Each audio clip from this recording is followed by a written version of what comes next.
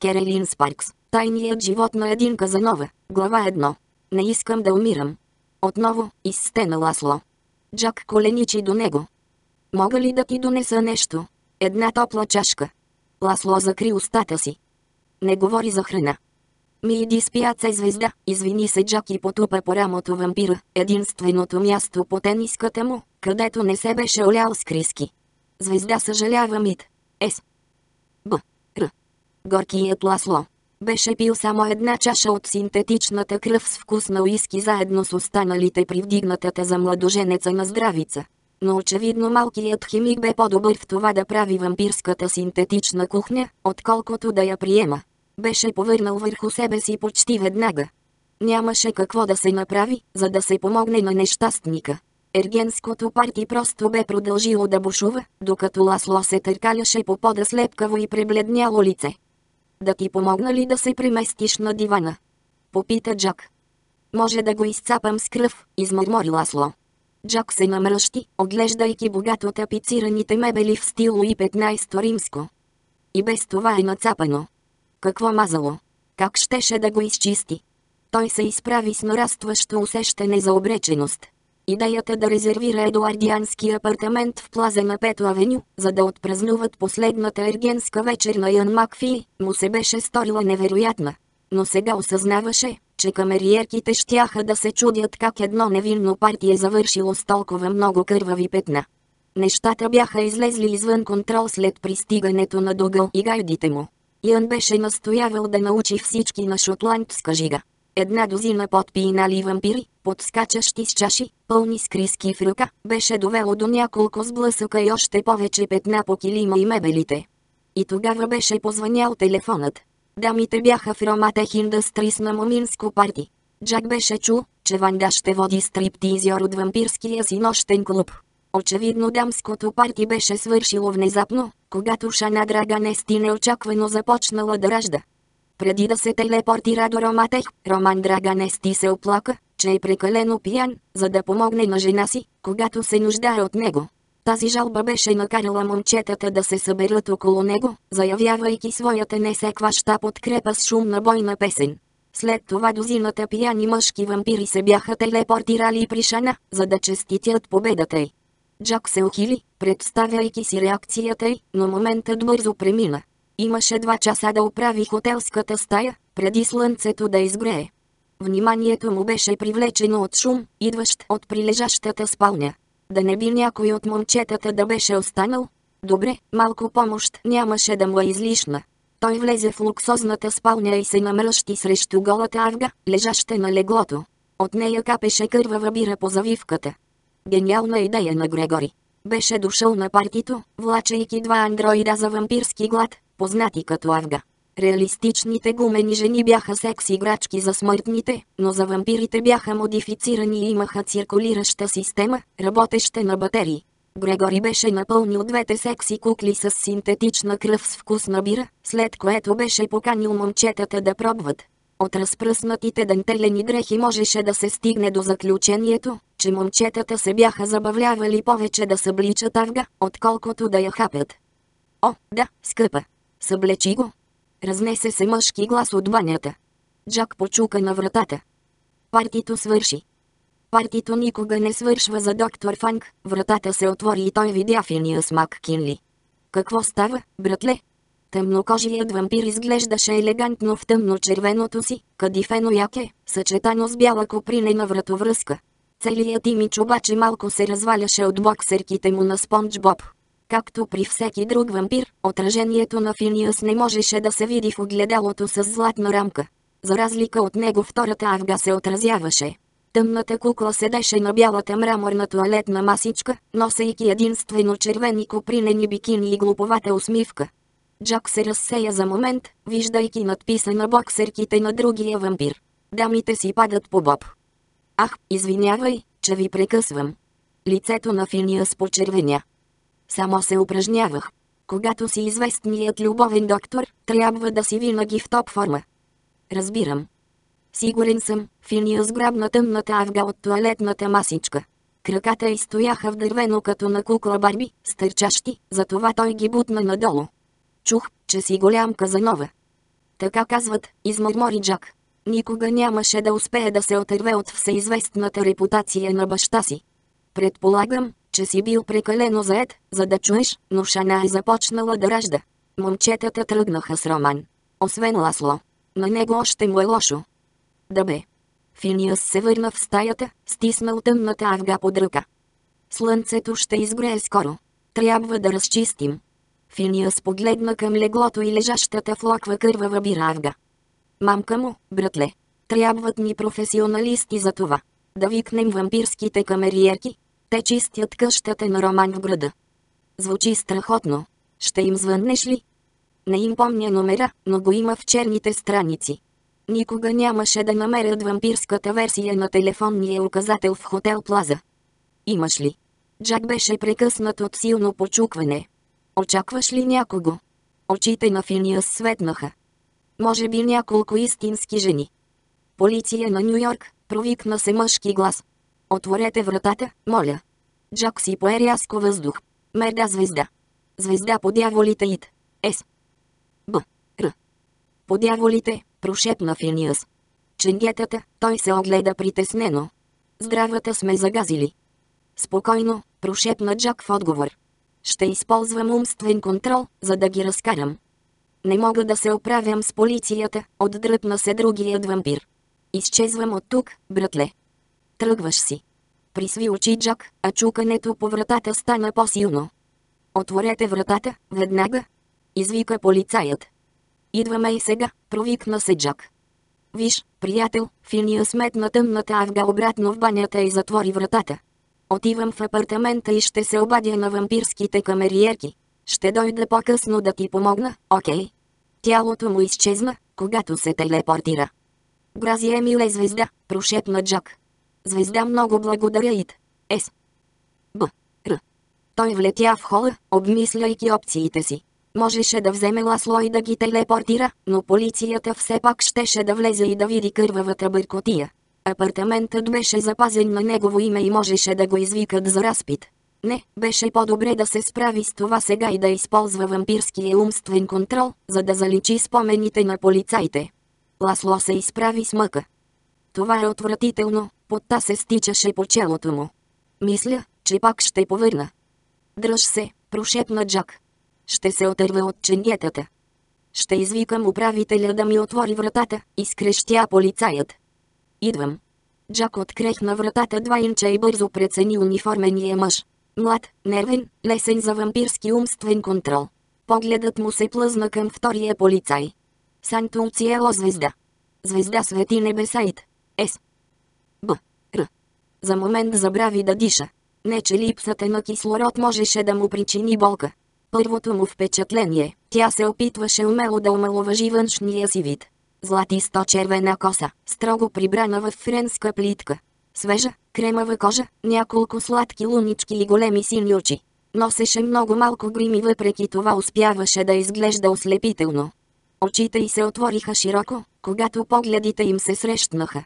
Устата й се разтвори леко, привличайки вниманието му към розовите й, сладко оформени устни. Белисима звезда, прошепна той. Звезда красавица Ит. С. Б. Р. Жената възвърна самообладанието си с усилие, което Джак почти можеше да чуе. Устните й се затвориха и тя се намръщи. Брадичката й се вирна. Ръцете й прихванаха колана й. Без съмнение искаше да изглежда заплашително, с ръце толкова прибрани до тялото и близо до палката, но единственото, което постигна, бе да подчертае красивите си като пясъчен часовник форми. Трябваше да носи най-изискания сатен. Трябваше да показва извивките си като богиня. Фактът, че правеше точно обратното, покривайки се от глава до пети в мъжка синя униформа, беше интересен. Светът се беше променил за 200 години.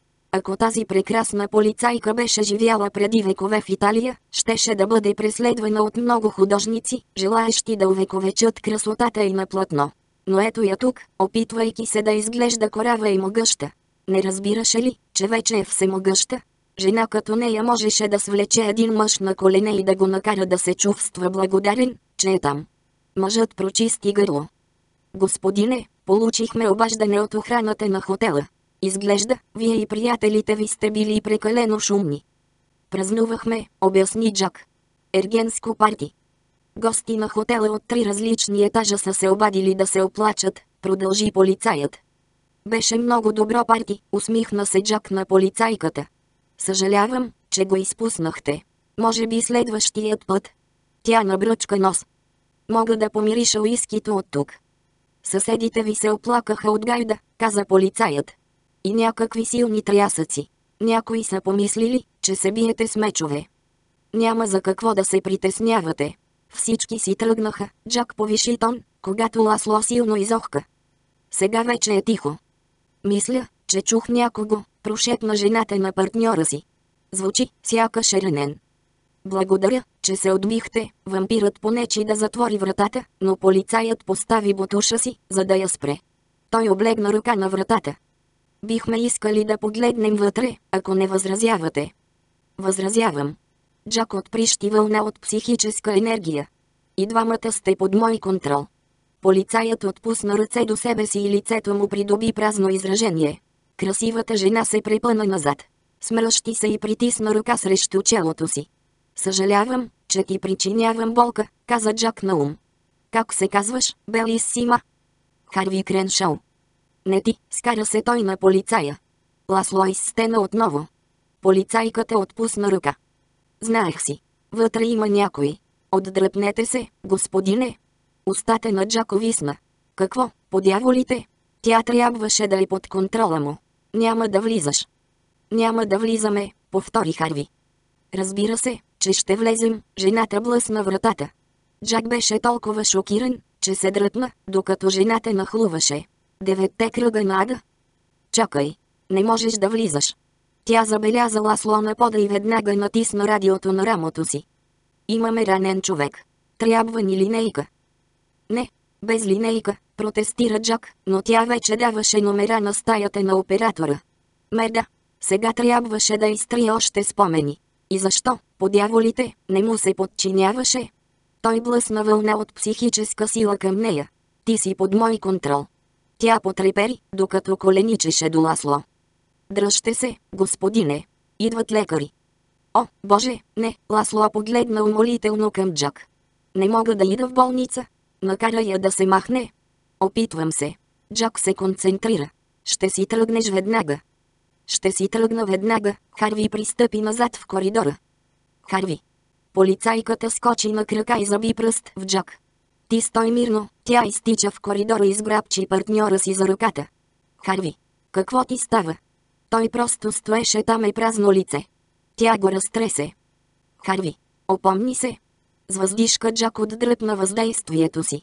Ако поддържаше Харви под контрол, щеше да усъмни полицайката. Харви примигна. Какво? Какво стана? Жената посочи към Джак. Закопчай го. Какво? Сега му се щеше да не бе освобождавал Харви. Не съм направил нищо. Жената го изгледа ядно, докато, марширувайки, влезе обратно в хотелската стая. Имаме ранена жертва, а ти си най-вероятният заподозрян. Не съм го наръгал, Джак отново насочи умствен контрол към полицаят. Няма да ми слагаш белезници. Харви замръзна до него, а лицето му отново стана безизразно. Вампирът скръсти ръце зад гърба си, така че жената да мисли, че е закупчан. Тя не беше забелязала нищо, защото клечеше до Ласло, късайки ризата му. Къде бяхте ранен, господине? Не е бил намушкван, настоя Джак. Просто повърна. Лаква с кръв ли? На глупачка ли ти изглеждам? Намръщи се жената към него. Къде го намушка? В гърба. Не съм го намушквал. Опитах да я контролирам, но не става, каза му Ласло мислено. Знам, отговори Джак. Тя беше най-големият кошмар за всеки вампир. Красива жена, която не може да бъде контролирана. Може да е медиум, продължи Ласло. Или страда от някакъв умствен дефект, който блокира силите ни. Майка ти изпускала ли те на глава, когато си била бебе? Попита Джак. Да, подсмръкна Харви. Не ти, измърмори Джак. Жената го изучаваше подозрително и поглед, докато се изправяше. Харви, наглеждай този тип. Харви. Полицаят примигна. Какво? Наглеждай го, посочи тя към Джак. Не му давай да помръдва. Ще проверя останалата част от апартамента. Харви кимна. До стената. Джак отстъпи, за да попречи на жената да види, че няма белезници. Тя огледа стаята до плазмения телевизор на стената. Някой е бил намушкан тук. Има кървави пръски. Кръвта не е моя. Жената присви красивите си очи. Чия е тогава? На приятел. Той. Се поряза, без да иска. След като беше погълнал цяла бутилка криски, Ангъс Маккей беше решил да става кръвен братев всички мъже в стаята. Бе извадил шотландската си кама, за да пореже китката си, но без да иска, беше порязал артерия и бе опръскал стената и кръв. Незабавно беше увил китката си е кърпа, заменяйки изгубената вечеря и нова бутилка криски. Инцидент. Сигурна съм. Полицайката спря до кръстосаните на пода мечове. И това са твои оръжия. Не са мой, запротестира Джак. Разбира се. Това са шотландски клеймори, обясни и той. На младоженеца са. И няма кръв по тях. Момчетата ги използваха за планински танце мечове. Тя разгледа мечовете, мръщайки се. Може да си ги изчистил. Не съм намушквал никого. Или поне не тази вечер, довърши той само за себе си. Тя проучи стаята и погледът ти се вдигна. Какво е това? Джак трепна, когато видя червеният сатенен сутиен на едната авга да се полюшва на полилея. Полицайката се качи на масичката за кафе и използва палката си да свали сутиена. Имало е жена на това парти. Не бих ги нарекали истински жени. Женски имитатори. Погледна го тя остро, размахвайки сутиена във въздуха. Не е мой, намръщи се той. Жената хвърли сутиена на дивана и стъпи обратно на земята.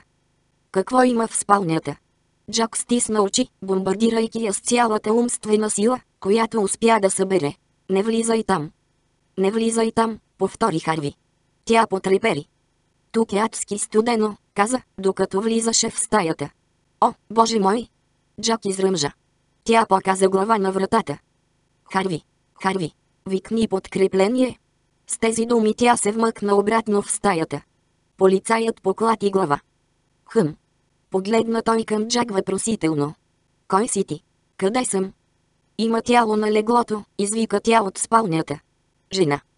Бяла авга е, обясни Джак. О, боже, тя. Тя не е жива, продължи полицайката. Харви примигна.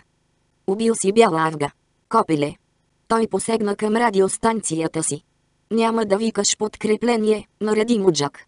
Харви свали ръка и възвърна неадекватното си изражение. Никога не е била жива. Полицайката се върна от стаята, държейки куклата. Секс играчка е, каза и метна куклата на пода, поглеждайки към Джак с отвращение. Гнусен перверзник. Не е моя, оплака се той.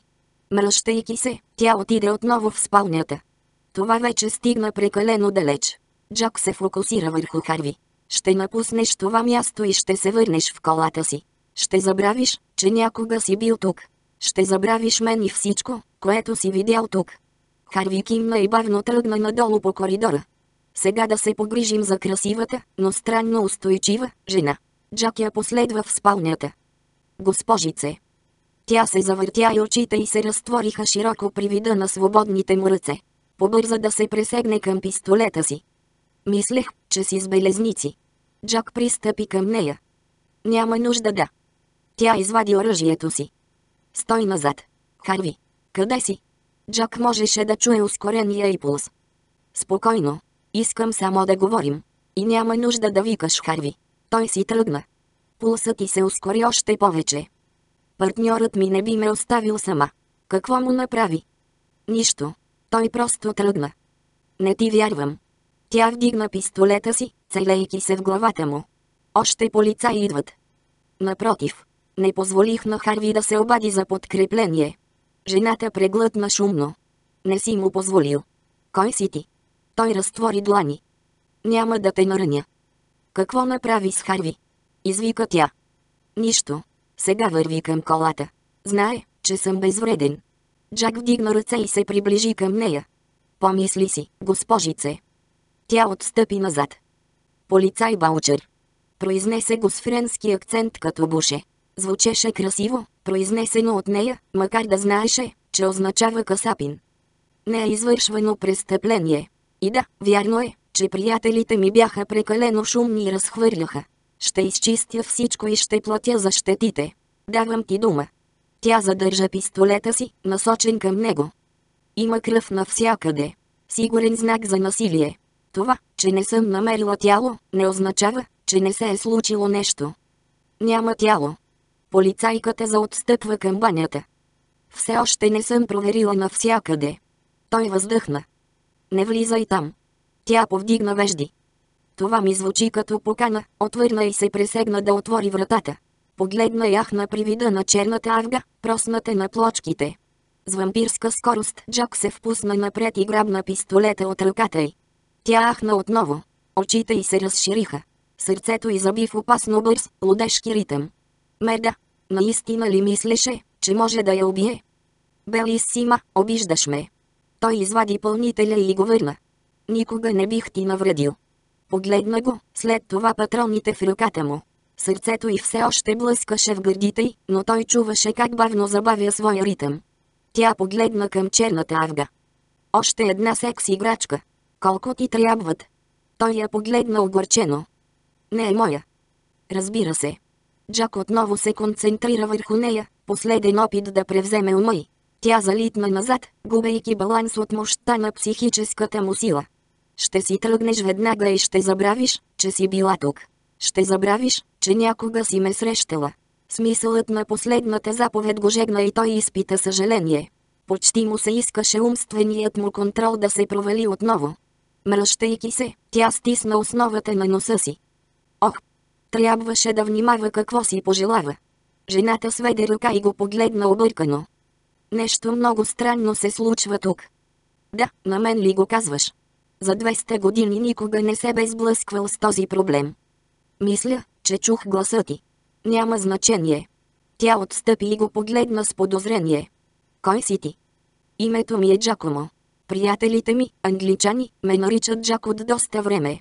И аз започнах да се възприемам като Джак, когато говоря на английски. Можеш да ме наричаш така. Аз не съм ти приятел, отвърна тя и потръпна от студените вълни, които той излъчваше около нея в опит да я подчини. Джак пристъпи към нея. Как е пълното ти име? Тя го зяпна с широко отворени очи, сякаш беше попаднала в транс. Но той знаеше, че не е. Не можеше да проникне в ума й. Нямаше никаква представа какво си мислеше. Вниманието му беше привлечено от шум в коридора. Погледна към хола и видя два парамедика да внасят носилка. Той изстреля вълна психическа сила към тях. Ще напуснете хотела, ще се върнете в линейката и няма да си спомняте, че сте били тук. Вървете сега. Мъжете се обърнаха и плъзнаха носилката обратно надолу по коридора. Как го направи? Прошепна полицай Баучер. Той се обърна към нея. Знам, че не разбираш какво се случва, но трябва да ми повярваш. Никой не е бил нараняван тази вечер. Нищо лошо не се е случвало тук. Тя се намръщи. Ами мъжът на пода. Болен е. Аз ще се погрижа за него. Не намери рани по него, нали? Не. Но има толкова много кръв. Ще се погрижа да бъде изчистена, той и върна празния пистолет. Моля, върви си, полицай Баучер. Тя пое оръжието. Аз. Не мисля, че това е правилно. Не мога да се преструвам, че нищо не се е случило. Няма какво да направиш, освен да си тръгнеш. Съжалявам. Тя остана на място, дъвчайки устната си, мръщайки се. Това не е правилно. Партньорът ти те чака навън. Довиждане, госпожице Баучер. Тя бавно тръгна към вратата и погледна към Ласло. Ще се оправите ли? Той помаха като зачал. Да, благодаря ви. Жената спря на вратата, за да погледне предупредително към Джак. Това не е краят. Имаме недовършена работа, Джак. С тези думи тя излезе в коридора и си тръгна. Част от него, много стара и самотна част, се надяваше да е права. Глава 2. Изчакайте. Извикала раба учер след парамедиците, бутащи носилката в асансьора, докато тичаше. Тя ги настигна точно когато вратите се затваряха. Можеше да ги спре, но замръзна, виждайки лицата им. Имаха същото празно изражение, което по-рано бе видяла на Харви. Тръпки полазиха по гърба й. Сигурно от това, че току-що бе излязла от ледената хотелска стая. Кого заблуждаваше? Беше адски изплашена. Удари бутона на другия асансьор и върна пълнителя в автоматичния си пистолет. Страхливка. Ако беше поне малко смела, щеше още сега да се върне обратно в стаята и да арестува този мистериозен Джак, за да го разпита. Още тръпки разтърсиха тялото й, когато си припомни как бе взел оръжието й. Беше достатъчно страшно как спокойно беше влязъл в спалнята без белезници, обявявайки, че Харви я е зарязал и не е повикал подкрепление. Но когато беше отнел оръжието й, за момент си беше помислила, че животът ти ще бъде отнет. И ако това не беше достатъчно страшно, мислеше, че бе чула гласа му в главата си, въпреки че не можеше да си спомни точните думи. Погледна надолу по коридора. Трябваше ли да се върне при него? Този мъж беше опасен. Обаятелен, но и много плашещ. Объркващ, неестествен. И невероятно красив. Тя подскочи, когато звънецът обяви пристигането на асансьора. Бързо се вмъкна и натисна бутона за лобито. Страхливка. Бягаш. Какво друго можеше да направи? Харви я беше оставил. Джак я беше обезоръжил толкова лесно. Щеше да го направи отново. Прибра пистолета в кобура. Имаше усещането, че Джак е контролирал ситуацията през цялото време. Можеше да я убие, но вместо това изглеждаше засегнат от мисълта й, че е способен на такова нещо. Когато вратите на асансьора се отвориха, тя излезе и забеляза от лобито как парамедиците напускат хотела. Изтича през въртящата се врата и ги настигна, докато товареха носилката в линейката. Хей, момчета! Какво става? Един от парамедиците я погледна с празен поглед. Здравейте, полицай! На повикване сме тази вечер. Били сте извикани тук, в хотел Плаза? Парамедикът тресна задната врата на линейката. Никога не сме били в Плаза. Ченето на Лара увисна. Не знаеха ли къде се намират? Парамедикът се качи на шофьорското място. Лека вечер, полицай. Тя си пое дълбоко въздух, а линейката потегли. Какво им беше направил Джак? Да не би да притежаваше някаква странна сила върху умовете на хората? Кожата й настръхна. Почувства се сякаш хиляди очи са съсредоточени върху нея в тъмнината. Спокойно. Не полудяваш. За съжаление, знаеше перфектно колко крехък е човешкият ум. Видя патрулната кола, паркирана до бордюра и изтича до нея. Харви се намръщи, докато тя се качваше на пътническото място. Къде беше? Чакам от цяла вечност. Бях в хотела, Лара закупча колана си. С теб. Той изсумтя. Никога не съм бил в хотел с теб. Женен мъж съм. Нямах предвид. Ако това е някаква шега, то не е забавна, каза и запали, тръгвайки по Пето авеню. Харви, уважавам те силно, както и брака ти, и не съм никак привлечена към теб. Не помниш ли, че от плаза ни помолиха да проверим някакви гости, които са били много шумни? Охраната на хотела ще се оправи с това. Обикновено, да. Но когато някой е докладвал за предполагаем бой с мечове, ни се обадиха. Той се засмя. Битка с мечове в хотелска стая. Май трябва да намалиш кофеина. Не помниш ли мъжа с секс играчките, Харви я погледна несигурно. Ти си луда. Последното ни обаждане беше за пиянско сбиване на Таймс Скуер. Лара потръпна. Не съм луда, случи се. Щом Харви и парамедиците не си спомняха, не означаваше, че не се е случило. Някак Джак беше изтрил спомените им. Що за човек можеше да прави това? Поне не беше бърникал и в нейната глава, както при останалите. Или беше, Можеше ли да си спомня нещо, което не се е случило? О, Господи, не отново! Вече беше прекарала 6 месеца от живота си объркана, неспособна да различава реалността от сънищата. След катастрофата реалността й се струваше размита, а сънищата – реални. Трябваше да знае. Налагаше се да се върне и да се изправи срещу Джак. На две пресечки пред тях една кола се отклони по Пето авеню пресече две ленти и се плъзна опасно близо до едно жълто такси, преди да увеличи скоростта. Очите на Харви бяха на автомобила. Как мислиш? Пиян шофьор? Или крадена кола, отвърна Лара и грабна радиото, за да позвани на диспетчер. Трябва ми 10-14, заяви тя и издиктова регистрационния номер, докато следваха автомобила. Радиото изпръщя. 10-17, обяви диспетчерът, осведомявайки ги, че колата не е открадната. Прието, отговори Лара. Изглежда е в нетрезво състояние. Да го спипаме, Харви включи светлините и сирената. Нервите на Лара се опънаха. Никога не можеше да бъдеш сигурен как ще реагират хората. Слава богу, шофьорът им съдейства и след 20 минути вкарваха пияния мъж в участъка. Лара приключваше с документацията от нощта по изгрев.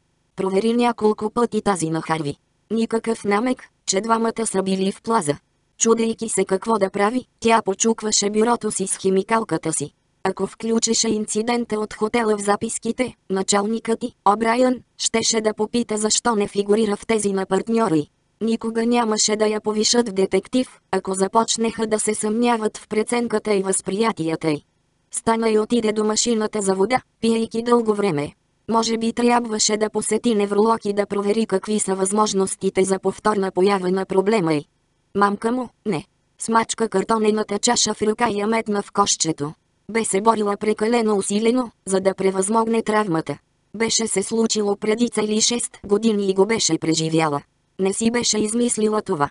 Със сигурност можеше да си спомни всеки детайл за Джак. Всякакви подробности. Гъста, черна коса, сресана нагоре, за да не пада върху широкото му чело. Краищата леко къдрави, там, където достигаха яката на ризата му. А черната копринена риза беше по него, очертавайки широките му рамене и твърдите като скала коремни мускули. Приличаше на всички красиви модели от списанията, които беше виждала. И гласът му я бе заинтригувал. Мек и мелодичен, с италиански акцент, но също така твърд и учтив, сякаш беше учил британски английски. Двойният му акцент предполагаше сложен мъж. И запленяващ. Беше едновременно Джак и Джакомо. Беше я нарекал Белиссима. Затвори очи и на ум заброди по тялото му, започвайки от скъпите му италиански кожени обувки. Дълги крака. Тесен ханш. Стегната талия. Широки рамене с красива извивка към врата, в която искаше да зарови лице. Силна челюст с намек за тъмни мустаци, точно толкова, че да й се иска да ги докосне. Изразителна уста. Беше използвала устните му като средство да предвижда реакциите му. Ще се повдигнат накриво, когато е развеселен. Ще се разтворят леко, когато е изненаден, след това ще ги стисне, ако е раздразнен. А очите му, бяха топли, златисто кафяви, излъчващи едновременно интелигентност и кораж. Беше следил всяко нейно движение с интензивност, граничеща с глад. Хей, не заспивай права. Лара рязко отвори очи, за да се намери пред началник Обрайън, който я изучаваше любопитно. Съжалявам. Беше дълга нощ. Отнема известно време да се нагодиш към гробарската смяна, но се справяш. Приключвай и се прибирай, Баучер. Да, капитане, отвърна тя и побърза да се върне на бюрото си и да приключи доклада, без да споменава инцидента в плаза. Но той се беше случил. Джак може и да изглеждаше като сън, но беше истински. Обикновено, преди да хване влака за апартамента си в Бруклин, Лара се преобличаше в цивилни дрехи. Искаше и се да се слее с тълпата, без да я забелязват, след като цяла нощ се беше занимавала с пияници и вандали но тази сутрин взе метрото обратно до хотела, без да сваля униформата си. Искам информация за стая 1412, каза на момчето на рецепцията. Един момент, отвърна младежът и започна да пише по клавиатурата. Това е един от едуардианските ни апартаменти. Искате ли да го запазите? Вече е заед. Искам да го проверя. Той се намръщи към компютъра. Този апартамент е свободен в момента. Хеме, може би са го освободили, но бяха тук с нощи. Имаше шумно парти. Охраната на хотела се обади в полицията. Младежът я погледна объркано. Не знам какво да ви кажа, полицай.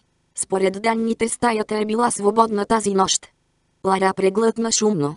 Колко далеч беше стигнал Джак, за да заличи следите си? Тук ли е нощният управител? Бих искала да говоря с него. И с охраната на хотела. Историята си остана същата. Нощният управител нямаше данни апартамент 1412 да е бил заед. Лара го помоли да провери дали няма стая, резервирана на името Джакомо, но и такива данни не се появиха. Охраната беше дори по-зле. Обириха се, когато заяви, че са се обаждали в полицията. Може ли да се справят с проблемите в хотела сами? И нямало никакви необоздани купони през нощта. Тя настоя да види стаята и накрая с нежелание и дадоха ключ. На 14-тия етаж, Лара бавно отвори вратата и я бутна. Пое си въздух, очаквайки да усети мирис на уиски. Нямаше такъв. Но пък се усещаше силна миризма на дезинфектант и почистващ препарат. Пристъпи в апартамента и погледна вляво, където мъжът бе лежал на килима в локва кръв. Нямаше го. Килимът беше чист. Залута се из стаята, оглеждайки тапицерията и дивана. Нямаше петна. Погледът ти се вдигна към стената. Никакви кървави пръски. Приближи се. Или тя беше луда, или някой беше свършил невероятна работа с почистването. Той беше казал, че ще изчисти. Лара докосна стената. Изглеждаше толкова нова. Дали я беше пребоядисал. Колко жалко, че не можеше да повика екип криминалисти. Началник Обрайан нямаше да е доволен особено след като управата на хотела беше настояла, че стаята е била свободна. Тя тръгна към спалнята. Сатенената завивка беше безупречно чиста. Как беше успял Джак? Надникна и в банята. Нямаше секс кукла. Прегледа плочките по пода и бялата мраморна туалетка за някакви кървави петна. 24 каратовите фасети блестяха. Кърпите бяха грижливо сгънати. Никой не би повярвал, че тази стая е била ползвана. С големи крачки побърза да излезе от апартамента. Някак Джак беше изтрил спомените на целия хотелски персонал. Беше ли се сетил и за гостите? Тя почука на съседната врата в коридора. Прозяващи се, с подпухнали очи, двойката, отседнала в апартамента, и каза, че всичко е било тихо през нощта, след което затръшнаха вратата в лицето й. Ако е било тихо, защо бяха толкова сънени? Е, това беше лесно. Може би са били будни цяла нощ и са се любили. Лара въздъхна. Само защото тя беше насухо, не значеше, че и другите хора са. От апартамента най-близо до асансьорите излезе мъж в костюм, носещ куфърче. Господине! Изтича тя, за да го настигне. Да. Погледна я той предпазливо, както повечето хора гледаха към полицаите. Сякаш бяха направили нещо лошо и се надяваха тя да не знае. Тя му се усмихна дружелюбно, за да го предразположи. Исках да ви попитам за снощи. Случайно да сте чули нещо странно? Имате предвид проклетите гайди. Някакъв идиот свиреше на тях в три през нощта. Сърцето на Лара подскочи до гърлото й. Не беше луда. И Джак беше изпуснал някого. Да, точно. Помните ли нещо друго? Само, че не можех да спя. Накрая излязох и отидох в бара за няколко питиета. И ето защо Джак го беше изпуснал. Благодаря. Е, просто се надявам да не оплескам презентацията си днес, измърмори той, когато продължи към асансьора. Джак беше истински. Но как можеше да го открие? Погледна към местния вестник пред вратата. Господине! Извика тя след бизнесмена. Имате ли нещо против, ако взема вестника ви? Не, заповядайте, отвърна той и се качи в асансьора. Лара вдигна вестника и го отвори на секцията с сватбени обяви. Партито беше ергенско, с гайди и клеймори. Шансът младоженецът да е шотландец беше голям. Днес беше събота и имаше доста изброени сватби. Макферсън, Фъргюсън и Макфи. Три сватби с младоженец, чиято фамилия звучеше шотландска. Тя пое дълбоко въздух. Щеше да се натресе на няколко сватби. Лара се втурна по каменните стъпала толкова бързо колкото и позволяваха червените сандали на висок ток. След три месеца патрулиране беше отвикнала да се гласи. Спря пред дървените врати и психически се подготви. Можеше да го направи. Беше се натресла на сватбата на Макферсън без никой да разбере. Но пък и там имаше много гости. Сватбата на Фъргюсън беше доста по-страшна. Само с 15 гости беше усещала настоятелните, любопитни погледи. Беше се измъкнала колкото може по-бързо, оставяйки след себе си един от трите сватбени подаръка, които беше купила този следобед. Намести корсажа на червената си рокля. Може би не трябваше да се облича в червено. Или пък да носи толкова дълбоко деколте. Просеше си внимание. Но тази сватба беше късна и започваше в 9 вечерта, затова предположи, че ще бъде по-официална от онези, които беше посетила след обед. Червената рокля беше най-изисканата, която имаше. Единствената изискана рокля, която притежаваше. Излизайки от апартамента си, се беше заклела никога повече да не облича дълга официална рокля. Беше жалко, че трябваше да мъкне голяма, груба чанта с себе си. Вътре бяха униформата и оръжието й, понеже скоро трябваше да тръгва за работа. Смяната й започваше в 10, но все пак щеше да успее да стигне на време. Щеше да й отнеме само няколко минути да види дали Джак е тук. Знаеше, че е истински, но щеше да е много по-лесно да си повярва, ако се увери лице в лице. И искаше да знае как е успял да премахне следите си в хотела. Той беше любопитна мистерия с способността си да контролира умове.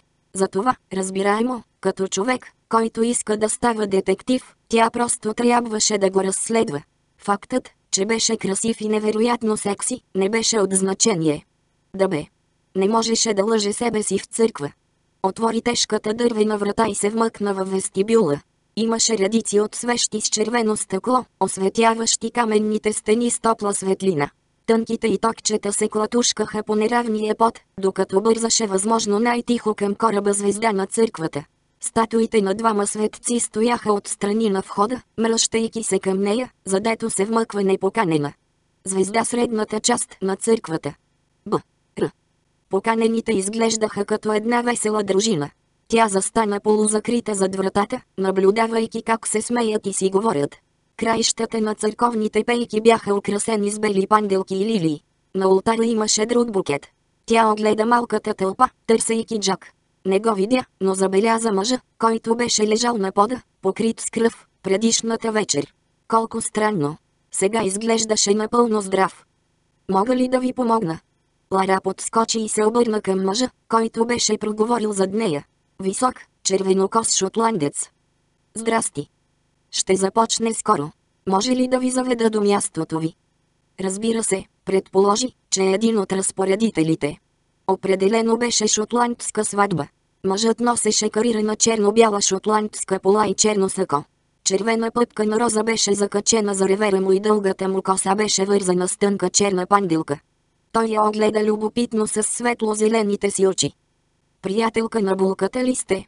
Умът ти се изпразни, докато се опитваше да си спомни името на булката. Шерил?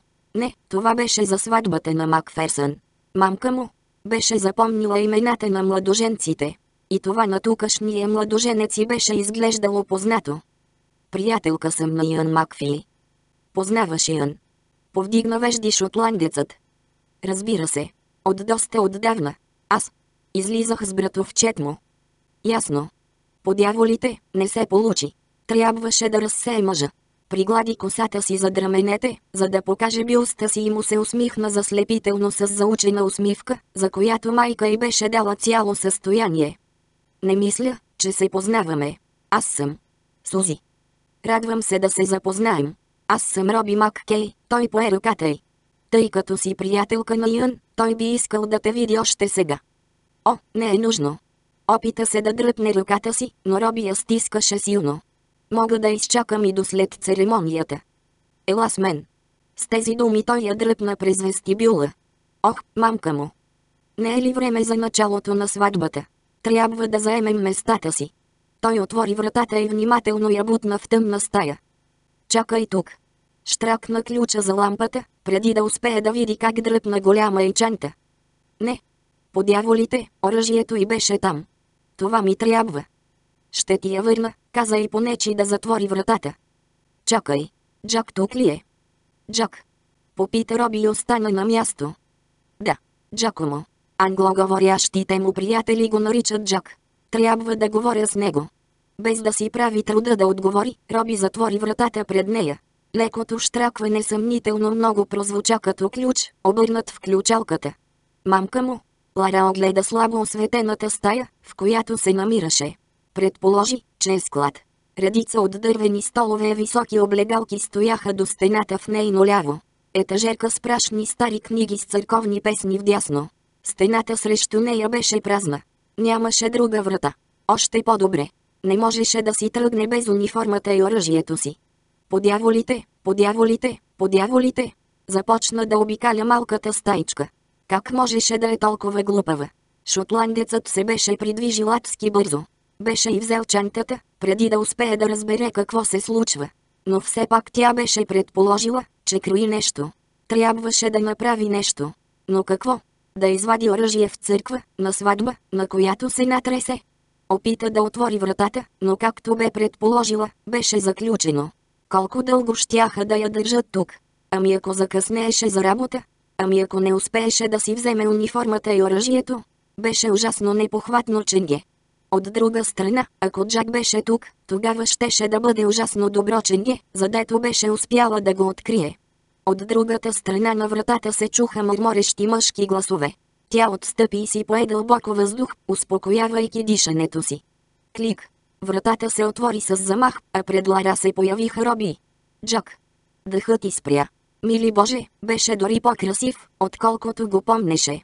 Елегантният му сив костюм изглеждаше сякаш е изработен по поръчка.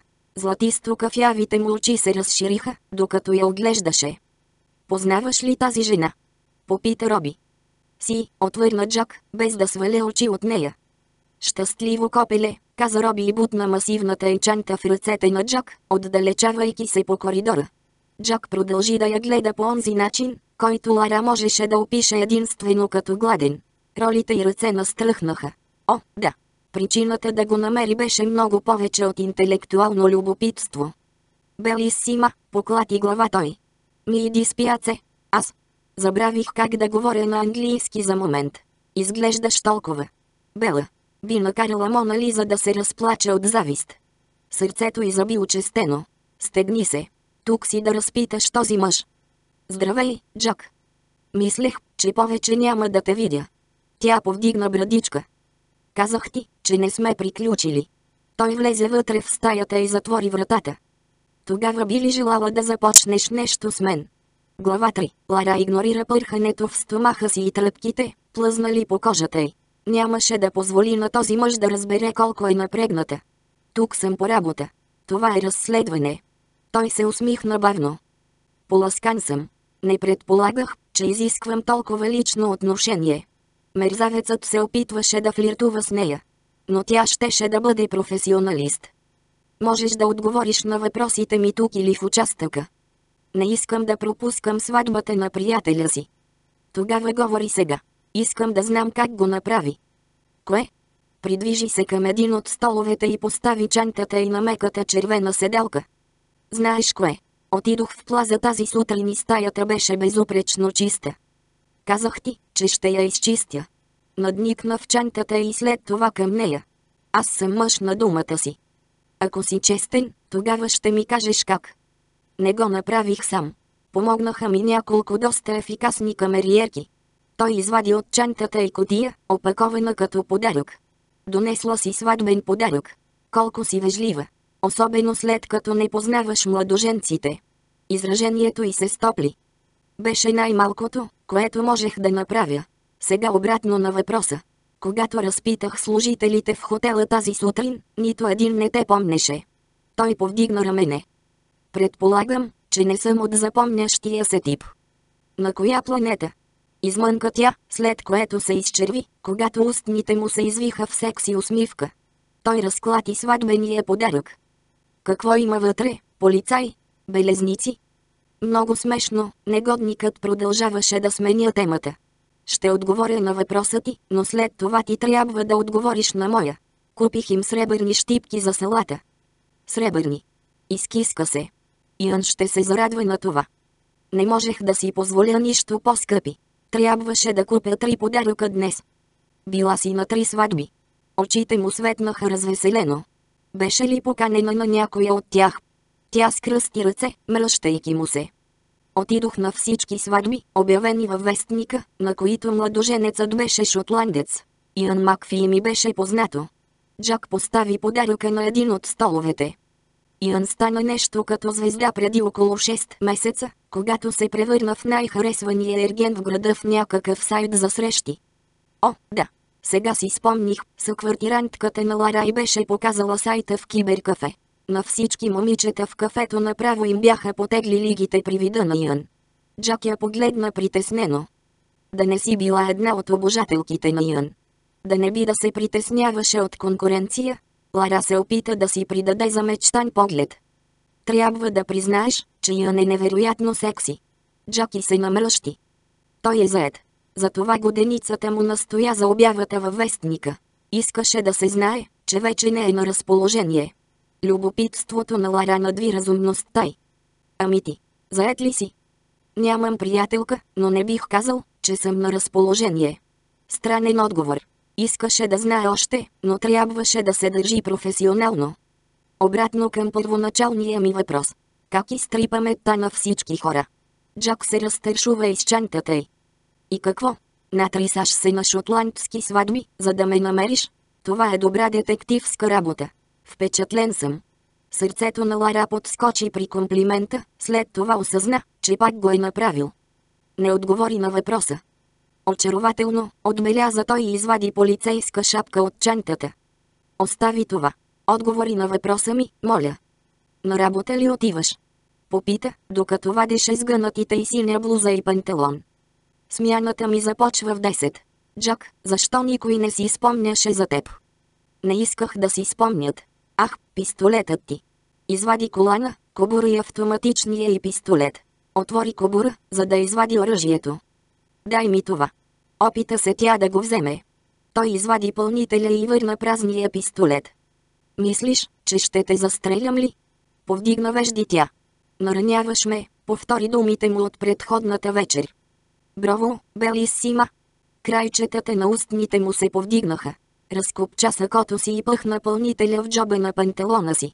Много си умна и талантлива. Мисля да стана детектив някой ден. Той се усмихна по-широко.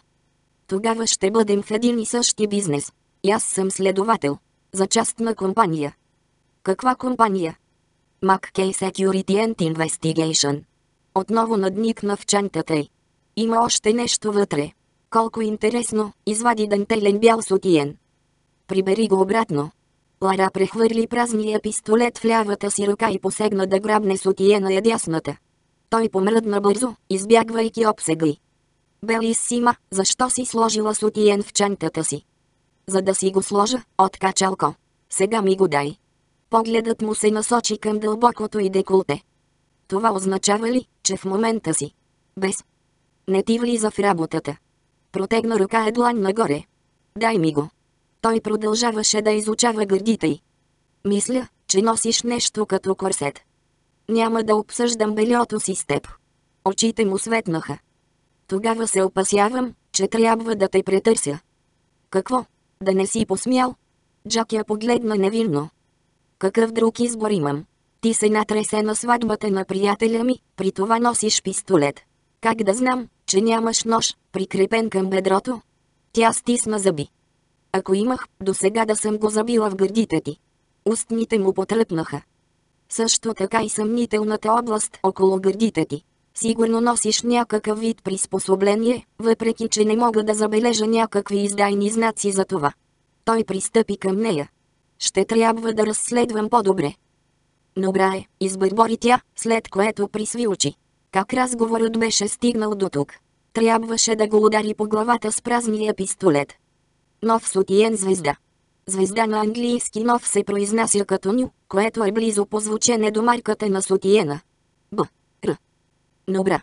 Чашките са от полиуретан и се залепват за гърдите ти. Сега обратно на изначалния ми въпрос. Залепват се за гърдите ти.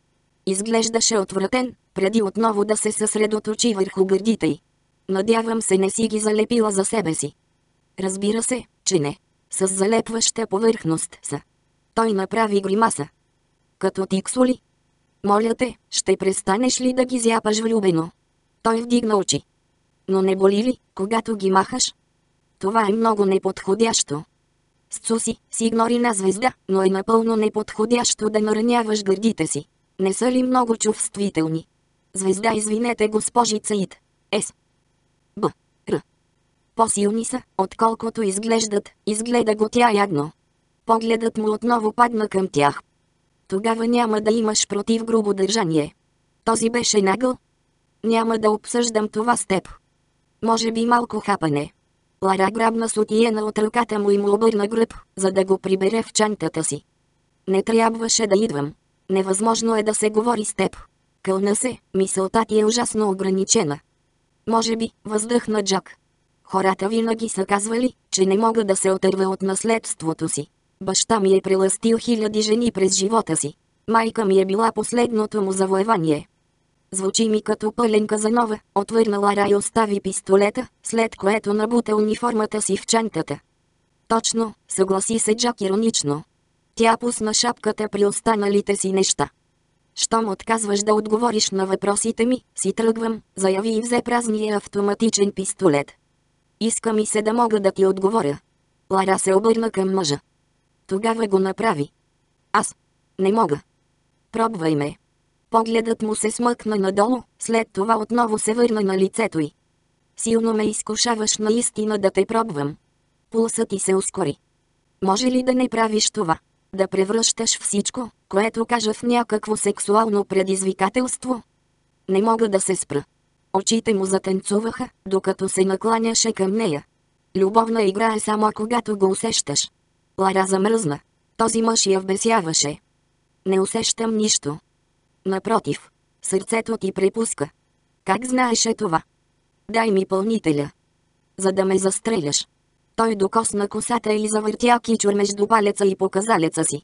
Косата ти е като огнен орел, пулсиращ около ангел на отмъщението. Как е името ти, Белисима?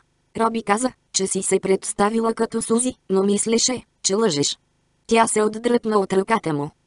За теб съм полицай Баучер. И си искам пълнителя, за да мога да си тръгна. Той пристъпи към нея. Басловя, че имаш красиво и лирично име, което да отговаря подобаващо на красивото ти лице. Богато, мелодично име, което ще се плъзга по езика и ще напомня за пищните извивки на деликатното ти тяло. С следващия си опит да се отдалечи, гърбът ти удари стената. Подяволите. Джак облегна ръце на стената, обграждайки я. Красивото ти име, Белисима. Какво е?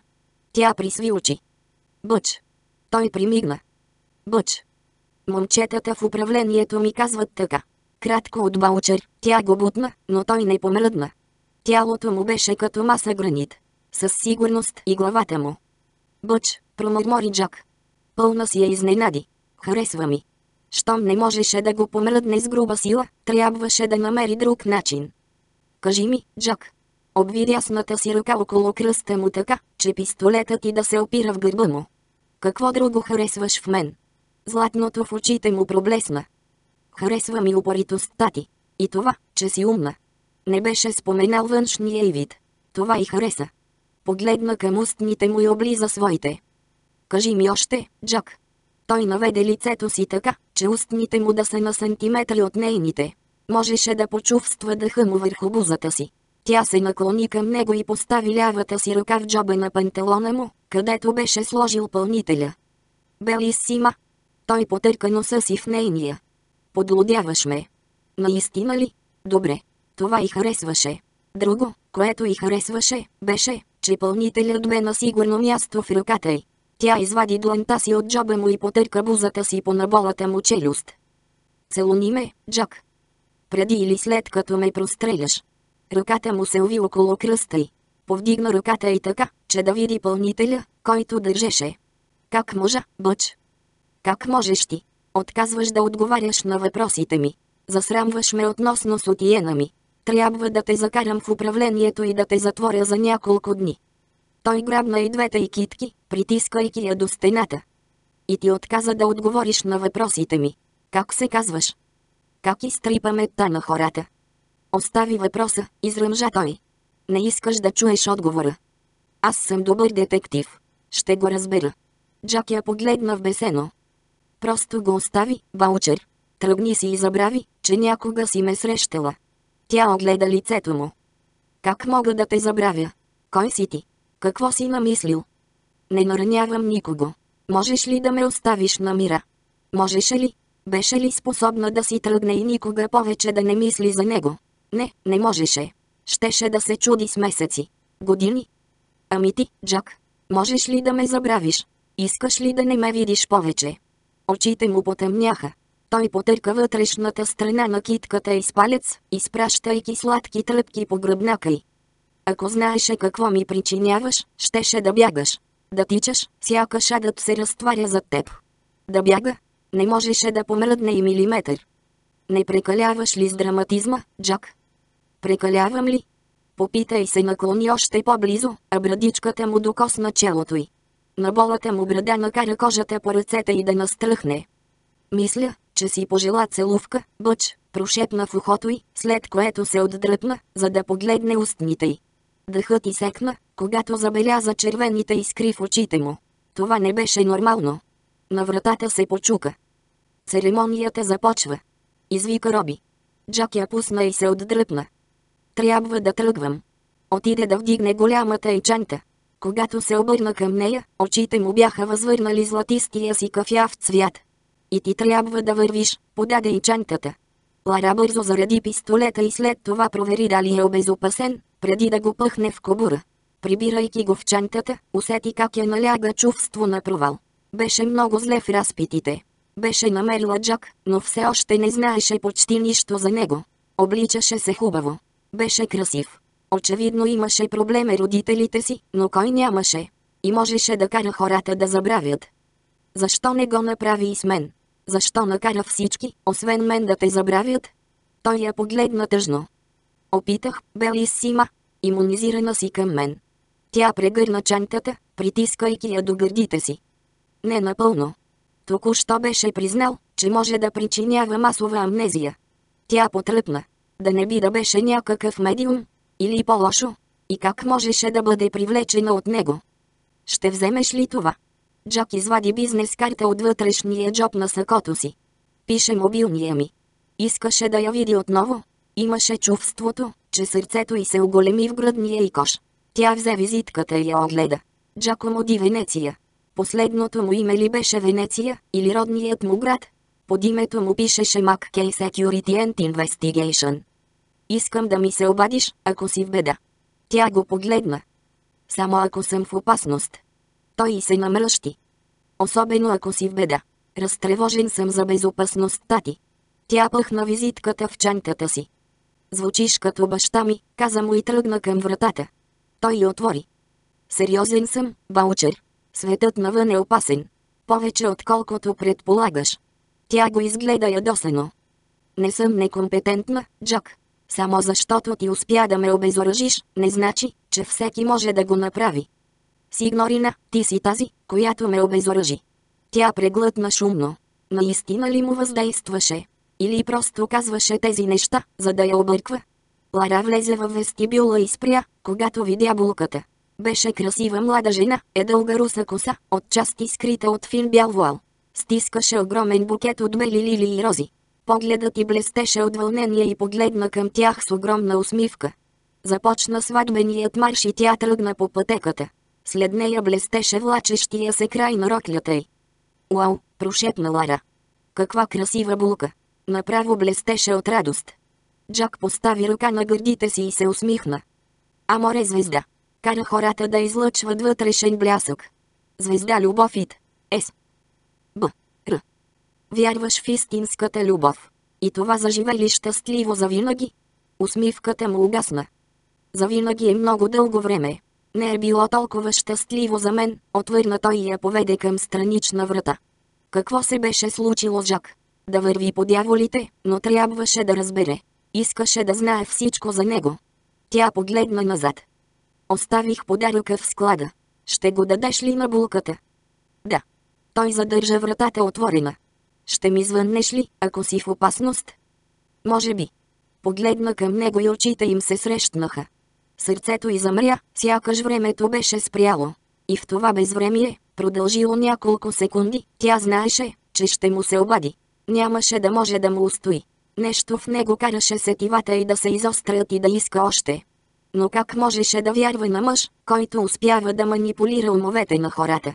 Ами ако манипулираше и нея? Истинско ли беше привличането и към него, или той го беше създал? Той докосна косата й. Внимавай, бъч! Сърцето й се сви. Името ми е Лара, с тези думи си тръгна, бързайки надолу по стълбите. Но шепотът му се разнесе след нея в нощния бриз. Лара Баучер. Знаех си, че ще е нещо красиво. Глава 4. Джак присви очи при смразяващия кръвта писък. Как можеше нещо толкова малко да бъде толкова шумно? И толкова плашещо?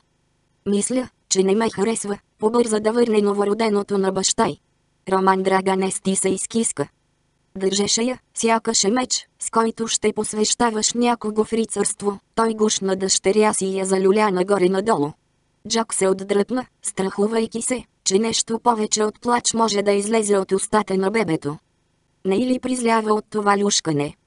Успокоява я, усмихна им се уморено Шана Драганести от болничното си легло в Роматех Industries. Напомня и на времето, когато беше в мен. Клющаво девойче е. Ангас Маккей я погледна преценяващо. Със сигурност ще се нуждае от кръстник, нали? Ема, съпругата на Ангас, се засмя. Това си беше направо намек. Тя седна на болничното легло до Шана. Как си, мила? Добре, отвърна Шана. Но ме яд, че изпуснах сватбата. Аз бях там. Две годишният ти син, Константин, седна на края на леглото. Носех пръстените. И се справи отлично, похвали го Джак, обръщайки се към Роман. Как кръсти дъщеря си? София. Той се олюля леко, когато бебето заспа в ръцете му. На майка ми. Прекрасно име за прекрасно малко момиченце, отбеляза Ема. Джак продължи да се усмихва тактично. Бебето му изглеждаше прекалено чупливо и плашещо. Но все пак нямаше опит от преди с бебета. След сватбената церемония имаше кратък прием в църквата за смъртните приятели и семейството на булката. След това партито се беше преместило в банкетната зала на Роматех Industries, където вампирите можеха да бъдат себе си и да вдигнат тост за младоженците с газирана кръв, микс от синтетична кръв и шампанско. След като поздрави анибулката му, Джак се отправи по коридорите на клиника Роматех, където Шана Драганести беше родила второто си дете. Все още се дивеше на наскоро настъпилите промени в света на вампирите. Всичките му приятели, които бяха ергени, бяха привлечени от въртележката на Аморе. Роман и Шана изглеждаха сравнително спокойни. Шефът му, Ангас Маккей, беше щастливо заслепен от съпругата си, Ема. Жан Люк беше открил Хедър, а сега Ян се беше оженил за Тони. Някой би си помислил, че има нещо във водата, но пък вампирите не пиеха вода. Всички оцеляваха благодарение на синтетичната кръв, създадена от Роман през 1987 година. Само враговете им, бунтовниците, продължаваха да се хранят от смъртни, често убивайки ги в процеса. Роман постави спящата си дъщеря в люлката до болничното легло. Не е ли красива? Прошепна Шана. Има тъмната коса на баща си. Мъжът и пови бебето в розово одеяло. Съжалявам, че изпуснах пристигането й. Исках да взема лекарството остани буден. И аз ти казах не, усмихна му се Шана. Единственото, което пропусна, бе как стена и проклинам мъжете да вървят в ада през половината ден. И когато аз спрях да крещя, София пое щафетата. Виж какво мога да правя. Константин дръпна сакото на Джак. Той го погледна точно на време, за да види как синът на Роман изчезва. Тада. Появи се отново Тино в другия край на стаята. Санто Циело, това беше невероятно. Джак вече беше чувал за проявилата се сила на Константин да се телепортира, но предполагаше, че момчето имаше нужда от внимание след раждането на сестра му. И наистина беше невероятно. Доколкото Джак знаеше, Тино беше единственият смъртен на света, който можеше да се телепортира. Само запомни, че не трябва да правиш това утре, когато баба ти и дядо ти дойдат, предупреди го Роман. Знам, провеси глава Тино. Дядо няма да ме харесва, ако знае, че съм различен. Той те обича, настоя Шана. Всички те обичаме. На дядо просто му е трудно да. Разбере. Това беше подценяване. Джак смяташе бащата на Шана за зареден топ. Начало на екип колове към ЦРУ, в началото Шон Уилън искаше да убие всички неживи. Сега, когато дъщеря му беше омъжена за могъщ вампир, той се беше отдръпнал и се беше съсредоточил само върху бунтовниците. Джак потупа момченцето по рамото. Мисля, че дядо ти ще ти завиди. Можеш да правиш толкова невероятни неща, които той никога не би могъл. Силните очи на Тино се озариха. Наистина ли? Обърна се към кръстника си. Чичо Ангас, кога мога да получа меч? Каза, че ще ми дадеш. О, страхотно, измърмори Шана и се отпусна на възглавниците си. Ема се изкикоти. Няма да му позволим да се нарани. Ангас вдигна момчето на ръце. Трябва да можеш да вдигаш меч, преди да се научиш да го използваш. Константинови ръце около врата му. Гладен съм. Има храна на рецепцията. Искаш ли да идем заедно? Попита Ангас. О, да. Момчето се размърда в ръцете на кръстника си. Искам да видя Тони. Добре. Ангас се насочи към вратата. Ще ви го върна след малко. Мерси, благодари Шана. И моля те, помоли и Анитони да наминат, преди да си тръгнат. Много съжалявам, че изпуснах сватбата. Ще ти разкажа всичко, обещай Ема. С Цуси. Джак се поклони към дамите и кимна към Роман, след което последва Ангас извън стаята. Премислих предложението ти, каза на шефа си, докато вървяха надолу по коридора. Ще се радвам да заема мястото на Ян. Тъй като шотландецът заминаваше за тримесечен меден месец в Стони, мястото като охрана в Роматех Industries беше свободно за известно време. Отлично. Анга спусна момчето и Тино изтича напред. Но се чудя защо си промени мнението. С нощи на партито ми каза, че искаш да се върнеш в Европа и да намериш Касимир. Джак повдигна рамене. Следите са мъртви. Буквално. Смяташе се, че Касимир е в източна Европа, въпреки че вампирите не бяха успели да посочат точното място. Ако някой от хората на Касимир дадеше информация, не оцеляваше повече от няколко нощи. Толкова близо сме до откриването му, колкото бяхме и преди две години. Да, това е много дразнещо. Адски дразнещо. Джак се съмняваше, че някога ще успеят да заловят водача на бунтовниците, не и докато той можеше просто да се телепортира навсякъде из владенията си. Мислих върху това, което каза, и си прав. Руско-американското сборище ще иска да си отмъсти. Джак беше помогнал на Ян и Тони да победят местния руски бунтовник при превземането на дигиталния вампирски канал. Това се случи преди 5 месеца, точно преди коледа. Тъй като бях намесен в инцидента ЕДВК, мисля, че трябва да съм тук за последствията. Ангас кимна. Знаеш ли, че наричат битката в ДВК масово избиване? Не съм изненадан, Джак чуваше музика, докато двамата се приближаваха към банкетната зала. Бандата свиреше валс. Колко жалко, че не можеше да покани Лара Баучер тук. Щеше да е прекрасно, ако можеше да я държи в ръцете си и да се въртят по дансинга, докато и двамата останат без дъх и се замаят. Той би стегнал ръце около меките и гърди. Золтан ми каза, че си убил шестима унази вечер, продължи Ангас. Джак се намръщи и прекрасната му мечта за Лара се разми и изпари. Золтан говори много. Спрях да броя мъртвите преди години. Какъв е смисълът? Ангас изсумтя. Смисълът е, че за всеки бунтовник, който убиеш, спасяваш безброй смъртни, които биха се превърнали в негова жертва. О, да, усмихна се Джак сухо. Аз съм един от добрите. Съмняваше се, че Лара Баучер щеше да повярва на това. В миналото му имаше две смъртни жени, но и двете не го бяха повярвали. Ангас го удари по гърба. Ти си добро момче, разбрано.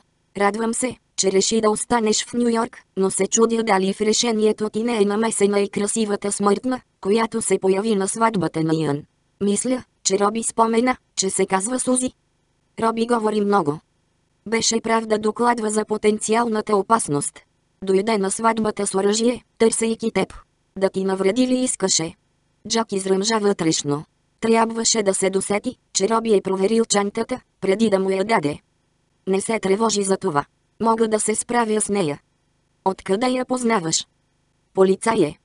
Дявол го взел, измърмори Ангас. Колко знае? Нищо. Тя и партньорът ти бяха повикани в хотелската стая, след като партито ни стана прекалено шумно. Джак погледна шефа си развеселено. Зарязахте ме да чистя голяма бъркотия. Слава богу, че Финиас се върна с вампирските камериерки.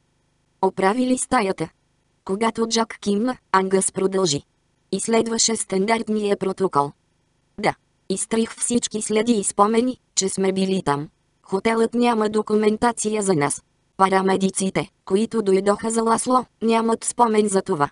Дори диспетчерът, който е извикал полицията, не може да си спомни. Ангас спря пред отворените врати на банкетната зала.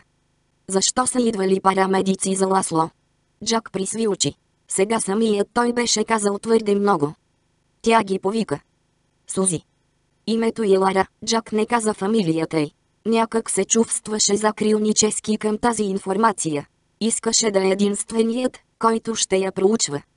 Виж. Посочи Константин към банкетната зала. Бетани и майка й. Може ли да отида да ги видя? Ангас погледна към смъртната съпруга и доведената дъщеря на Жан Люк.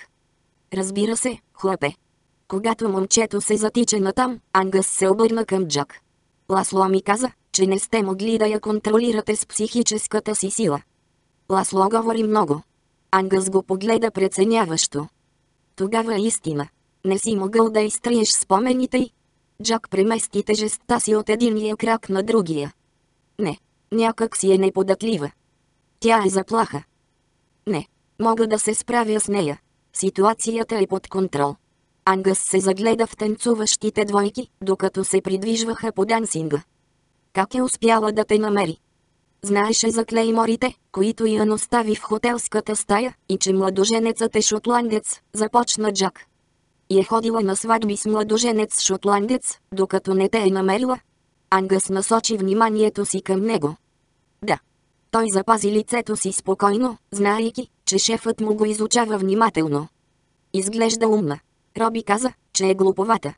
Джак изсумтя, след което възвърна неутралното си изражение. Без коментар. Повдигна вежда шотландецът. Джак го погледна раздразнено. Познаваме се от почти 200 години, Ангъс. Стреляш насляпо. Устните на другия мъж помръднаха. Добре тогава. Всъщност Роби каза, че е доста хубава. Джак почувства странна гордост към Лара. Това е вярно. Ангъс се облегна на рамката на вратата, скръствайки ръце. Осъзнава ли, че всички следи от партито са изтрити? Да. И като умно момиче със сигурност има въпроси, намръщи се той. Бих ти наредил да не я виждаш повече, но се опасявам, че няма да се подчиниш. Прекалено важен си за компанията. Джак си замълча. Затова ти предлагам повече да не я виждаш, продължи Ангъс. Каквото и да правиш, не и казвай за нас. Това е заповед. Джак кимна. Разбирам. Нямаше начин да сподели на Лара за вампирите. Беше направил тази грешка два пъти в миналото, казвайки на любовницата си през 1855 година. И на тази от 1932 година. И двете бяха реагирали толкова зле, че му се бе наложило да изтрие паметта им. Те бяха продължили с живота си, без да забелязват нито него, нито болката, която беше преживял от това, че ги беше изгубил. Щеше да е дори по-зле Лара. Не можеше да изтрие спомените й. Признание пред нея щеше да е огромен скок напред, който никога нямаше да може да върне. Не само, че щеше да я изгуби, тя щеше да бъде заплаха. Ангъс постави ръка върху рамото му. Внимавай, приятел. Много внимавай. С тези думи той влезе в залата. Джак въздъхна. Ако кажеше на Лара, щеше да изложи на опасност своя живот и този на всичките му приятели вампири. Цялостната дилема му стана болезнено ясна. Не можеше да сподели истината с нея. А тя никога нямаше да му се довери, ако той не го направеше. Ситуация без шанс за победа. Трябваше да последва съвета на Ангас и повече да не се вижда с тази жена. Тих глас в него прошепна не. Повтаряше думата все по-силно, докато не се превърна във вик. Мерда, ако му се обадеше, ако имаше нужда от него, щеше веднага да отиде. През следващата седмица Джак се приспособяваше към новата си позиция като управител на охраната на Роmatech Industries. Не беше трудно. Всъщност беше си направо като почивка след две годишен лов на Касимир в източна Европа. Беше пристигнал в Нью Йорк през май за ежегодната пролетна конференция и галабалът. Беше му се сторило нормално да остане в Нью Йорк, тъй като сватбата на Иан беше само след седмица. Сега, след като заместваше Юн, щеше да остане още три месеца. Роматех беше оживено място през деня, с 200 смъртни работници, които правеха синтетична кръв и я изпращаха до болници и кръвни банки. През нощта идваха около 50 служители, вампири. Някои, като Ласло, бяха брилянтни учени, които помагаха на Роман. Другите, не толкова брилянтни, пакетираха и изпращаха синтетична кръв и вампирската синтетична кухня за вампирите из целия свят. Работата на Джак беше да пази Роматех от бунтовниците, които смятаха компанията за главна терористична цел. Финиас Маккини му помагаше.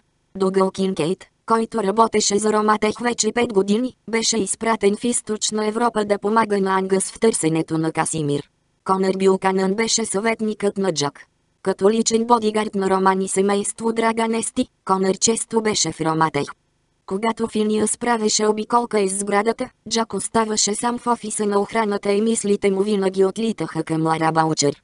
Не се беше обаждала, което се надяваше да означава, че е в безопасност. Изкушаваше се да я потърси, но винаги успяваше да устои. За да задоволи любопитството си, я проучваше чрез компютъра си. Знаеше къде живее. Знаеше, че работи за управлението в Северен Мидтаун. Но колкото повече разбираше за миналото й, толкова повече се объркваше. Тя го объркваше. Родом беше от град в Северна Луизиана, където баща е бил кмет, а майка й в борда на местния кънтри клуб. Лара е можела да живее прекрасно там, защо се беше преместила в Нью Йорк. На 17 беше спечелила титлата Мисти на Луизиана. Защо би се отказала от уреден живот, за да стане полицай? На третата вечер от разследването си той попадна на заглавие във вестник от преди 6 години. Последната Мисти на Луизиана почти умира в катастрофа. Сърцето му се беше свило. Санто Циело. Снимката показваше смачка на кола, обърната по таван. Лара е била вътре. Той прегледа статията. Интензивни грижи. Не се очаква да оживее. Мерда. Каква болка и ужас беше изживяло момичето. Протегна се към телефона си, за да й се обади. Не. Беше я помолил да го остави на мира и тя беше изпълнила желанието му. Той затвори прозореца в браузъра и започна да крачи из стаята. Беше я отбягвал точно както беше предложил Ангъс. Нямаше да е на добре да се свърже с нея. Можеше само да се радва, че тя се е оправила след инцидента. Беше жива и здрава, рискувайки живота си всяка нощ на улицата. Тази мисъл го накара да извади телефона от джоба си. Може би се беше обадила през деня, когато спеше мъртъв. Нямаше съобщения. Вкара домашния и служебния и телефон в контактите си. За всеки случай. Девет кръга на ада. Беше глупак. Бяха минали седем нощи, а той все още искаше да я види. Почти му се прииска да я сполети беда. Минаваше 11 вечерта, неделя вечер, когато Лара и партньорът й пристигнаха в жилищната сграда до парка Хътсън Ривър. Госпожа Келси Трент се беше обадила на 911 за помощ, след което изведнъж беше затворила. Лара чуваше виковете от коридора. Мъж и жена. Харви почука на зелената врата. Полиция на Нью Йорк. Лара чакаше на 4 метра зад Харви с извадено оръжие, готова, в случай, че партньорът ти бъде нападнат. Вратата рязко се отвори. Какво искате, подяволите? Пред тях застана мъж на средна възраст, облякал обикновено долнище на пижама и войнишка тениска. Очите му се присвиха, когато видя униформите им. Сигурно сте объркали мястото. Тук нищо не става. Вие ли сте господин Трент? Попита Харви. Може би. Какво искате? Мъжът вонеше на алкохол и Лара забеляза, че кокълчетата на дясната му ръка са разкървавени. Получихме обаждане, обясни Харви. Може ли да влезем? Обаждане. Господин Трент ги погледна объркано, след което погледът му се избистри. Погледна през рамо. Тъпа кучка. Ти ли се обади в полицията? Лара чу женски стонове от вътрешността на апартамента. Госпожо Трент, имате ли нужда от доктор? Нищо и няма, настоя съпругът. Лара вдигна брадичка. Няма да си тръгнем, докато не проверим състоянието на жена ви, господин Трент. Виж ти, каква си напориста, ухили и се подигравателно мъжът.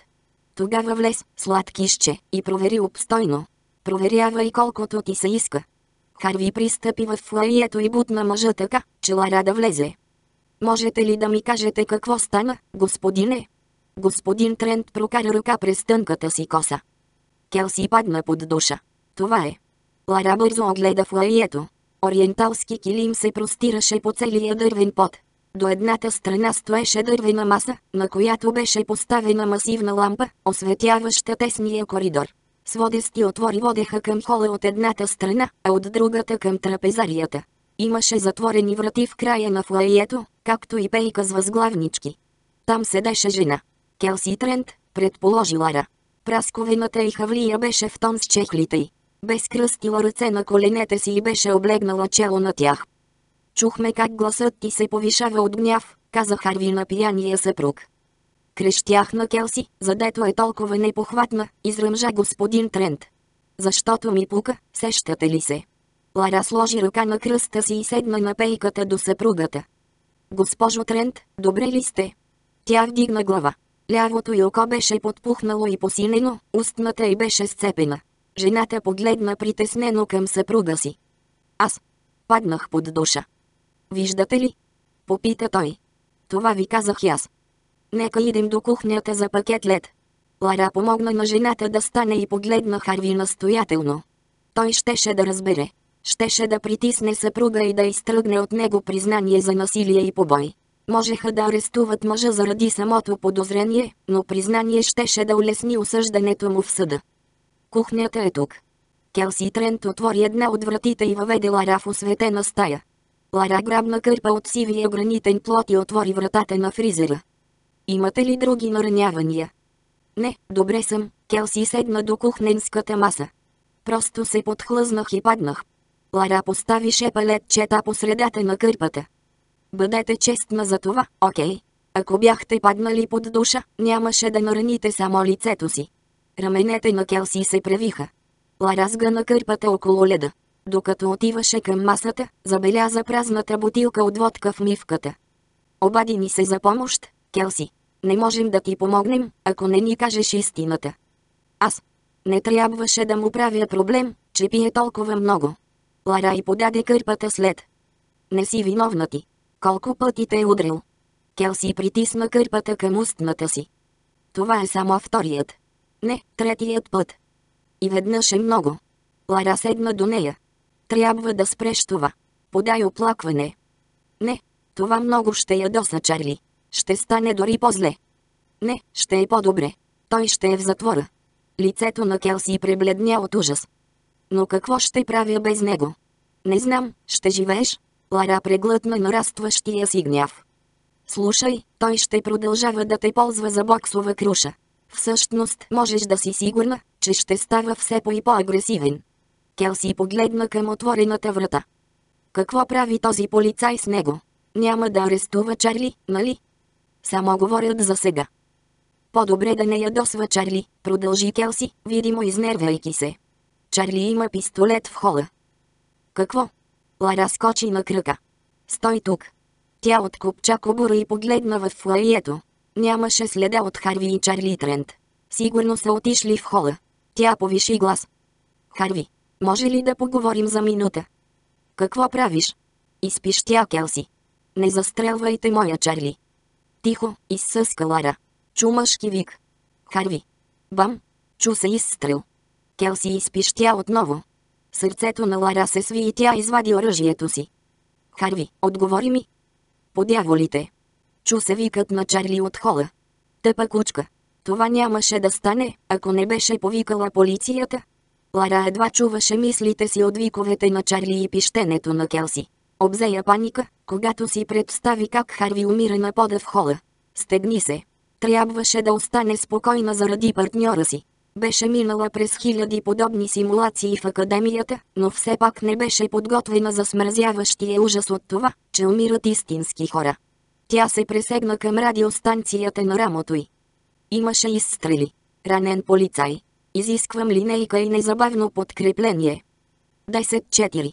На път са, отговори диспетчерът. Можеше да отнеме 5 или повече минути, докато пристигне екип. Пулсът на Лара бунтеше в ушите й, докато заставаше до вратата и зареждаше пистолета си. Чарли Трент. Остави пистолета си и излезва в флаието с вдигнати ръце. Няма да ида в затвора за това, извика той. Подяволите. Келси е виновна. Ще я накарам да си плати. Ледени тръпки се спуснаха по гърба на Лара. Чарли смяташе да повлече всички с себе си. Тя затвори вратата на кухнята. Щеше да отнеме само няколко секунди на мъжа да я отвори, но тези няколко секунди щяха да й предоставят възможност да стреля. Огледа се и забеляза още две врати. Едната, изглежда, водеше към трапезарията. Ами ако Чарли нападнеше оттам? Ами третата врата? Тя се втурна към Келси. На къде води тази врата?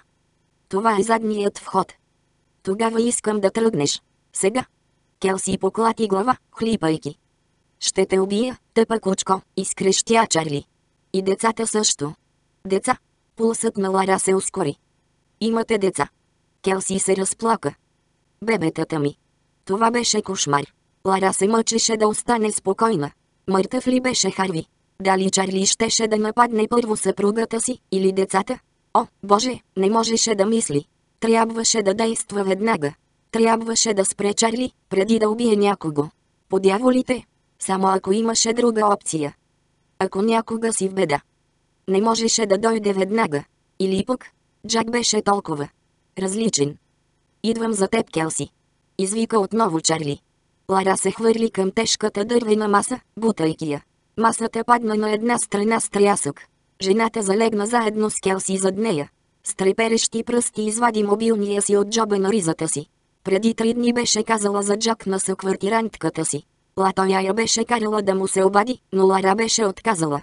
След това Латоя беше грабнала телефона и беше въвела номера на Джак, слагайки го на бързо набиране под номер едно. Какво имаше да губи? Лара натисна, след което остави телефона, за да може да заради оръжието си. Тежките стъпки на Чарли се чуха от флаието. Пронто звезда. Чу се гласът на Джак от телефона. Звезда Алоид. С. Джак.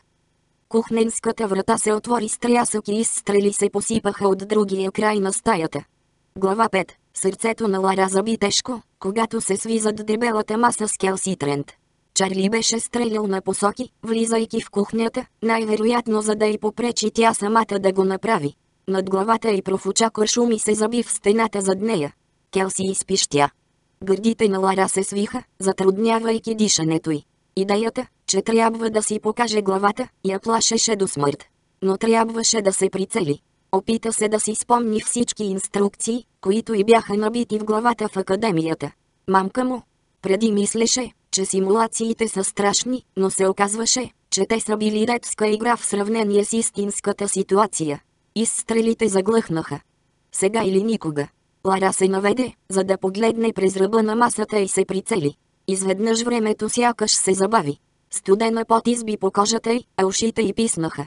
Единственото, което усещаше, беше показалецът си на спусъка, готов да убива. Господи, не. Принудена да убива.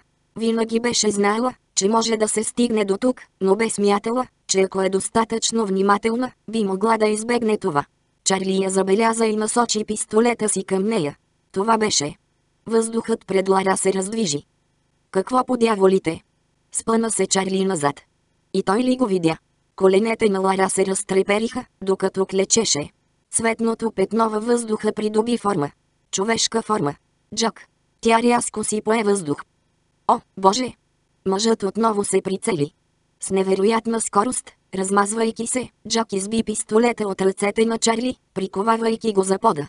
Лара премигна, удивена от бързината му. В милисекундата, която й отне да си отвори очите, Джак беше обърнал Чарли, държейки го на земята с ръце зад гърба му. Джак е пъргав. Джак е бърз. Махни се от мен, опита се да се измъкне заловеният, но не успя да се отскубне. Студен въздух се завъртя в стаята. Очите на Джак се присвиха напрегнато, светайки в златно. Мълчи.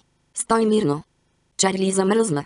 Келси се облегна на масата с празно изражение. Лара потръпна. Джак. Отново си играеше с умовете на хората. Лара, подай ми белезниците си, заповяда Джак. Ледено студеният въздух се плъзна по кожата й. О, боже, и в стаята на хотела беше студено. Джак ли правеше това? И как се беше появил от нищото? Той я погледна. Добре ли си? Аз. Тя залитна и оръжието и се удари в един от краката на масата. Погледна го, объркана и дезориентирана от прозрението, което изведнъж я бе ударило с главоломна сила. Лара, остави пистолета, нареди Джак нежно. И ми дай белезниците. Тя го пъхна в кобура, след което се изправи и сковано отиде до Джак, подавайки му белезниците. Благодаря ти, че дойде. Нямаше нужда да стреля. Джак я беше отървал от убийство. Той може би бе спасил живота й. Както и тези на всички в апартамента. Включително партньора й. Харви. Тя побягна извън кухнята и го намери на пода в хола. Беше в съзнание, притискайки ръка към напоената си с кръв риза. Тя забеляза пълен с сгънати дрехи кош запрене на масата за кафе и грабна първото, което успя. Кърпа, добре. Лара коленичи до партньора си и притисна кърпата в раната от куршума. Бъч, изстена Харви. Слава богу. Чух изстрели. Страхувах се, че си. Добре съм. Всичко е под контрол. Ти само се дръж, окей? Подкреплението и линейката идват. Харви се намръщи. Сглупих. Видях пистолета му, но се поколебах. Аз. Никога не ми се е налагало да стрелям по някого до сега. Знам. Зрението на жената се замъгли от сълзи. И аз не исках да стрелям. Беше късмет, че Джак се беше появил точно тогава. Но сега, далеч от него, усещаше как ледената вълна се отдръпва от ума й. Осъзна, че Келси и лудият и съпруг стоят тихо и кротко, защото Джак им беше наредил така. Беше поел контрола над ситуацията, без дори да намачка скъпия си костюм. Тя потрепери. Какъв човек се появяваше магически? Или се движеше бърз като светкавица? И контролира човешките умове? Поне беше на нейна страна, защото можеше да бъде много опасен. Вниманието й се върна върху Харви, когато очите му трепнаха и се затвориха. Харви, Харви, дръж се. В безсъзнание, каза Джак, влизайки в стаята. Ще трябва веднага да му се прилее кръв. За момент затвори очи и си пое дълбоко въздух. Кръвната му група е нулева положителна. Как разбра? Попита тя, придържайки кърпата, притисната в раната на мъжа. Погледна към Джак. Изглеждаше толкова нормален. Ако можеше да нарече невероятно красивия му външен вид нормален. Той коленичи до нея. Предполагам си се обадила за подкрепление или нейка. Когато тя кимна той продължи. Мъжът и жената няма да си спомнят за мен. Промених спомените им. Как? Как го правиш? Трудно е за обяснение. Вдигна ръка, когато тя се опита да протестира. Не сега, Лара. Времето ни изтича и трябва да сме сигурни, че историите съвпадат. Искаш да излъжа. Това е истината според двойката в кухнята. След като мъжът е прострелял партньора ти, е дошъл след вас. Скрила си жена му зад масата, докато си чакала отстрани до вратата. Той е влетял, стреляйки като луд, а ти си го ударила по главата с палката си. Те така ли си спомнят? Да. Мъжът е паднал на земята в безсъзнание. Сложила си му белезници, след което си се втурнала тук, за да помогнеш на партньора си. Не мисля, че мъжът е бил в безсъзнание. Ще бъде скоро. Джак извади бяла кърпичка от вътрешния джоб на сакото си. Дай ми палката си. Вече е обезвреден. Ще го удариш ли? Лара, историята трябва да звучи реално. Ще ти повярват, че си укротила въоръжен мъж, който е доста по-едър от теб само ако преди това си го ударила. Беше прав, въпреки че тя нямаше да му го каже. Навън извиха сирени. Подкреплението идваше. Дано да имаше или нейка за Харви. Ето. Тя подаде палката на Джак. Но не го удряй прекалено силно. Устните на Джак се извиха в усмивка. Прекалено си мила за този занаят, Белис Сима, усмивката му се изпари. Този мъж се опита да те убие. Заслужава повече от удар по главата. Джак излезе от стаята, държейки палката с кърпичката. Лара се зачуди дали е прав, дали наистина не й пукаше прекалено много. Но ако не я интересуваше достатъчно, как би могла да бъде добро ченге? Напрегна се, очаквайки някакъв звук. Конг. Потръпна.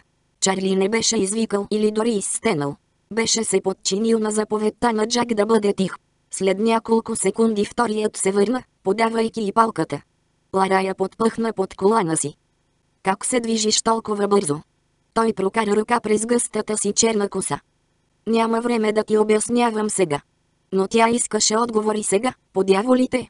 Знаеше, че остатъкът от вечерта ще се състои от попълване на доклади и посещения в болницата, за да провери как е Харви. Добре, утре. Тя обърна глава, чувайки стъпки отвън в коридора. Звучеше сякаш стадо слонове се бяха втурнали да я спасяват. Почти можеше да си представи Тарзан, яздещ един от тях. Не, чакай. Красивият герой вече беше в стаята. Искам да ми кажеш всичко утре, обърна се тя към Джак. Нямаше го. О, това мирише хубаво. Латоя Лафайет пусна чантата и ключовете си на масичката до вратата. Какво готвиш, момиче? Пържена сьомга, отвърнала Рай внимателно обърна рибешките филенца в тигана. Супер! Съквартирантката е махнали лавия си суит черна тигрите на Луизианския щатски университет и разроши лъскавите си черни кадрици. Валя през целия шибан ден, сложи мокрия суит черна облегалката на стола в малкия им хол. Е, как така готвиш? Не, че се оплаквам. Обожавам храната ти. Но мислех да излезем, за да празнуваме. Не искам това да се превръща в голяма работа. Но то е голяма работа. Лато я влезе в кухнята. Спасила си живота на онази жена. И на децата й. Както и на Харви. Не съм спасявала Харви. Докторите го направиха. Прекалено си скромна, момиче. Лато я изми ръцете си на кухненската мивка. Всички говореха за теб в моя участък. Чух, че ще ли да организират пресконференция с шефа на полицията, който ще те похвали. О, Боже, надявам се да не се случи. Лара прибави нарязан мък да носи див лук в купата с картофеното пюре. Знаеш, че ще изцедят всичко, което си струва от тази история. Само три месеца, откакто си се дипломирала от академията и вече спасяваш деня. Ти си като примерно дете, което показва колко успешна е тренировъчната програма. Но аз не съм направила нищо. Лара удари ядно с килитка чесън стъпия край на ножа. Джак го направи. Ти го знаеш. Аз го знам. Но никой друг. Латоя се облегна на плота. Не ме гледай така, докато държиш нож, момиче. Лара изпухтя, докато добавяше смачкания чесън в пюрето. След няколко часа попълване на доклади и интервюиране от детективите, които бяха поели случая, а след това още два часа в болницата при Харви, Лара най-сетне се беше довлякла до апартамента си в Бруклин около 8.30 сутринта. Беше разказала цялата история на Латоя преди приятелката и да тръгне за работа в 26-то районно. След това Лара си беше взела душ и се беше пъхнала в леглото си. Но дори толкова уморена, не беше успяла да заспи. Изстрели и писъци ехтяха в главата й, придружени от картина на кървящия на пода Харви. И беше продължила да се чуди за Джак. Бе решила, че най-добрият начин да му благодари за това, че я беше спасил, беше домашно сготвено ядене в луизиански стил. Беше му звъняла, но не й беше вдигнал. Остави съобщение, с което го канеше на вечеря, след което беше отишла да пазарува. Беше опитала да звънне отново към пет след обед.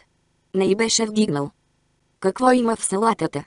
Лато я разгледа съдържанието на дървената купа, докато я носеше към масата. Спанак, чери домати и кедрови ядки. О, изискано. Лато я погледна към поставените на масата неща. Най-хубавите им чаши и прибори, салфетки от плати свещи. Доста си се потрудила за това. Беше ми скучно. Лара приготви две чини с риба и пюре. Капитанът ми нареди да си взема кратка отпуска. Платена ли? Късмет ли изкокуче такова? Лато я запали свещите с кибрид. Дори да е така. Изглежда адски. Романтично. Хайде да ядем. Лара сложи чиниите на масата. Лато я присвика в явите си очи, духайки клечката. Направила си това за Джак, нали? Тя потисна стона си, докато сядаше на масата. Нямаше смисъл да отрича. Добре. Поканих го на вечеря, но той не ми върна обажданията. Това не означава, че не съм планирала да ям с теб. Латоя седна срещу нея. Момиче, знам кога трима са тълпа. Щях да те оставя насаме с мистериозния мъж. Но казваш, че не ти е върнал обажданията? Не. Лара сложи салата в купите им за салата. А оставих две гласови съобщения. Може да не ги е получил. Няма да му се обаждам пак. Ще изглеждам отчаяна. Аз не съм. Никак даже. Лъжкиня.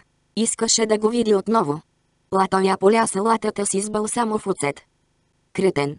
Изкушавам се да му звънна и да му налея малко здрав разум. Не. Латоя се подсмихна, след това отиде до хладилника. Разполагам с перфектното решение за това. Вино. Имаме повод и причина. Ще вдигнем тост за героичните ти дела и ще удавим мъката си, породена от разочарованието ни от мъжете. Ще пия за това. Лара забоде вилицата в салатата си. Храната изглеждаше и миришеше чудесно, но и липсваше апетит. Майната на този Джак. Беше толкова объркващ. Бе рискувал живота си, за да й помогне, а сега дори не можеше да върне обаждането й. Лато я поднесе две пълни чаши за вино. Седна и вдигна своята. Тост. За най-добрата ми приятелка, един истински герой. Не съм герой. Стана ми достатъчно тъпо, че го чух на работа, не ми трябваш и ти особено след като знаеш истината. Латоя се нацупи. Да, момиче, знам истината. Ако не беше ти, все още щях да бъда продавачка в някое малко градче, за което никой не е чувал. Ти ме буташе напред, когато не можех сама. Ти си моят герой. Очите на Лара се навлажниха. Беше срещнала Латоя в болницата след катастрофата. Тя беше прострелена при обир на магазина, в който работила.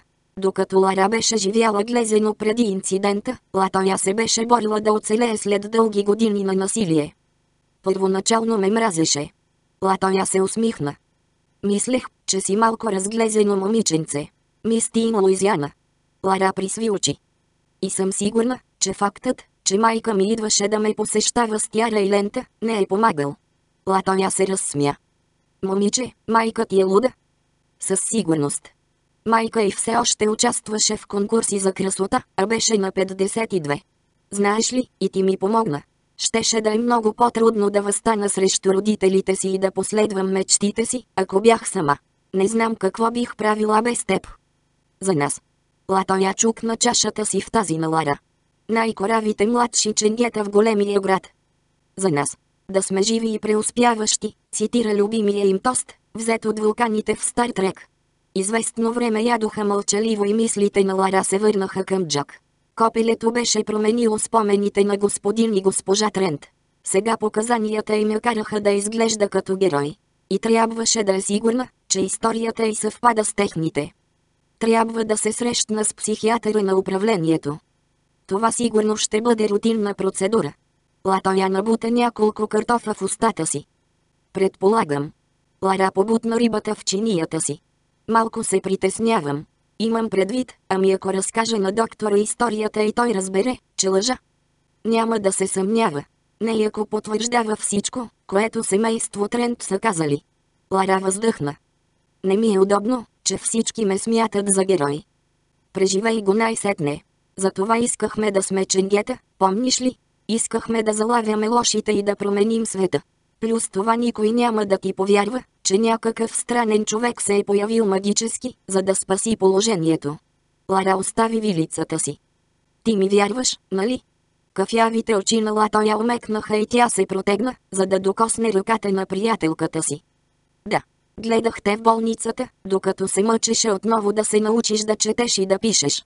Гледах те, докато и двете се борехме с занятията в университета. И оцеляхме заедно в академията. Знам, че не би ме излъгала, колкото и странно да звучи истината. Благодаря ти. Лара стисна ръката на най-добрата си приятелка и след това отново взе вилицата. Трябва да бъда много внимателна какво говоря пред психиатъра. Не искам да си помисли, че мозъчната травма ми пречи все още.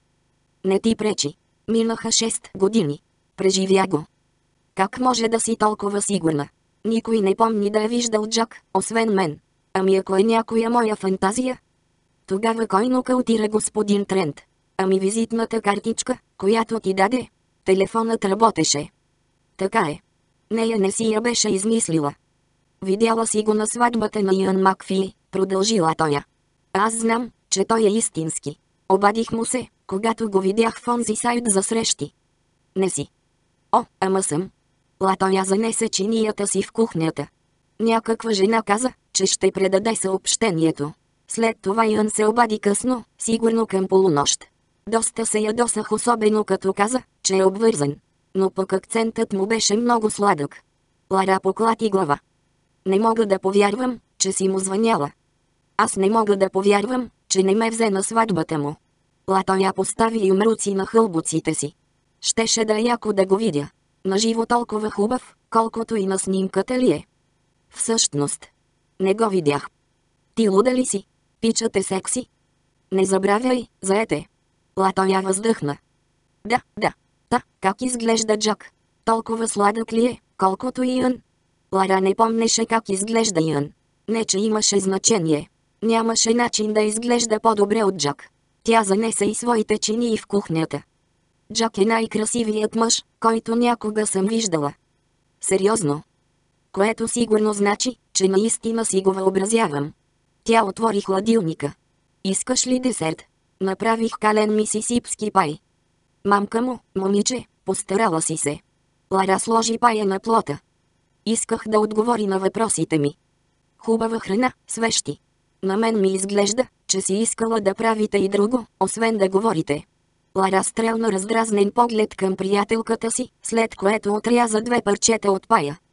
Само исках да създам спокойна обстановка, за да се чувства спокойни да сподели всичките си тайни. Да бе. Лато я грабна вилица и си взе пая, след което се върна към масата. Там откъдето идвам, кален мисисипски пай означава, хайде да пристъпим към работа и да се поизпотим, миличка. С подсмихване, Лара остави своята чиния с пай на масата. Върна се, да си вземе чаша вода.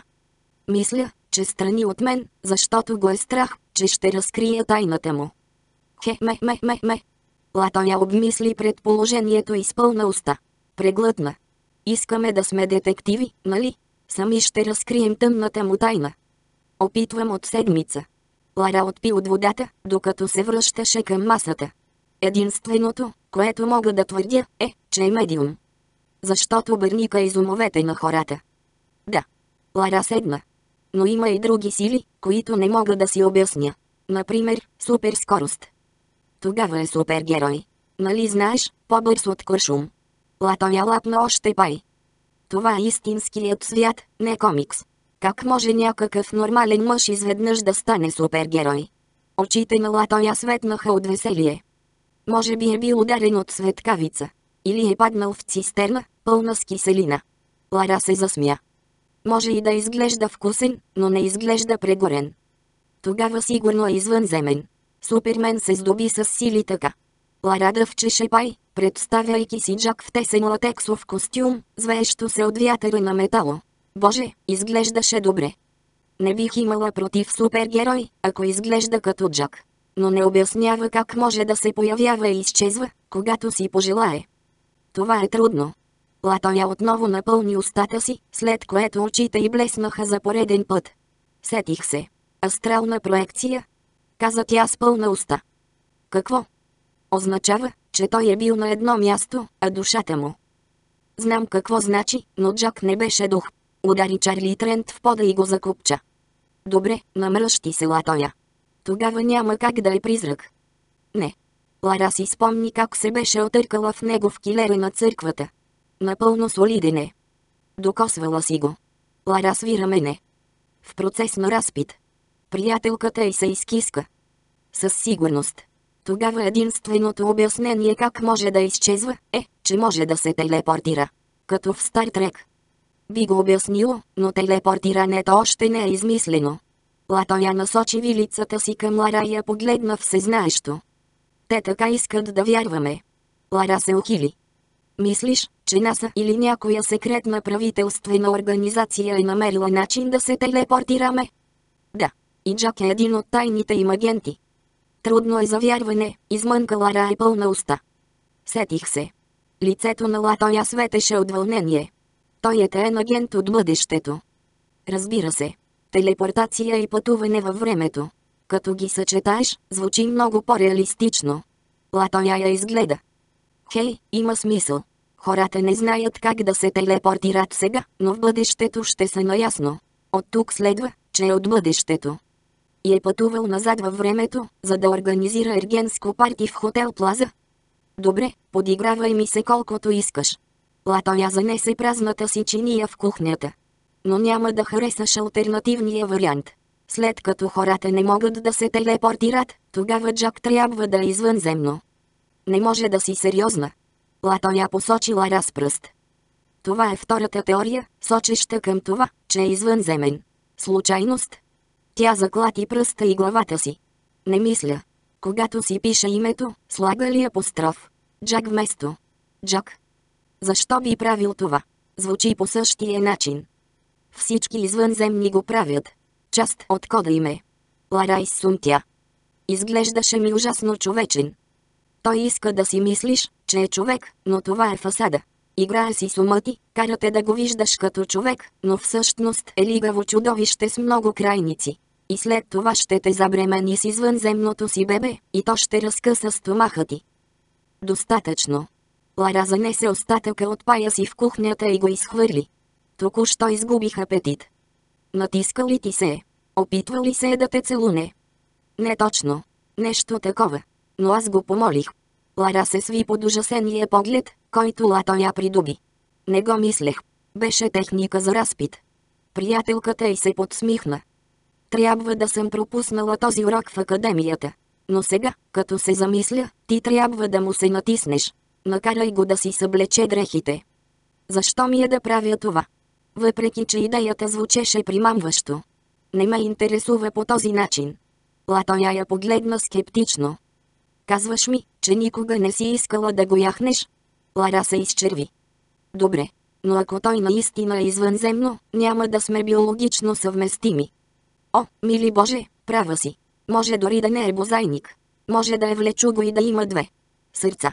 Лара се намръщи. Гледала си прекалено много научна фантастика. Само защото Джак може да се телепортира, не означава, че е някакъв вид гущер. Телефонът иззвъня. Лара подскочи.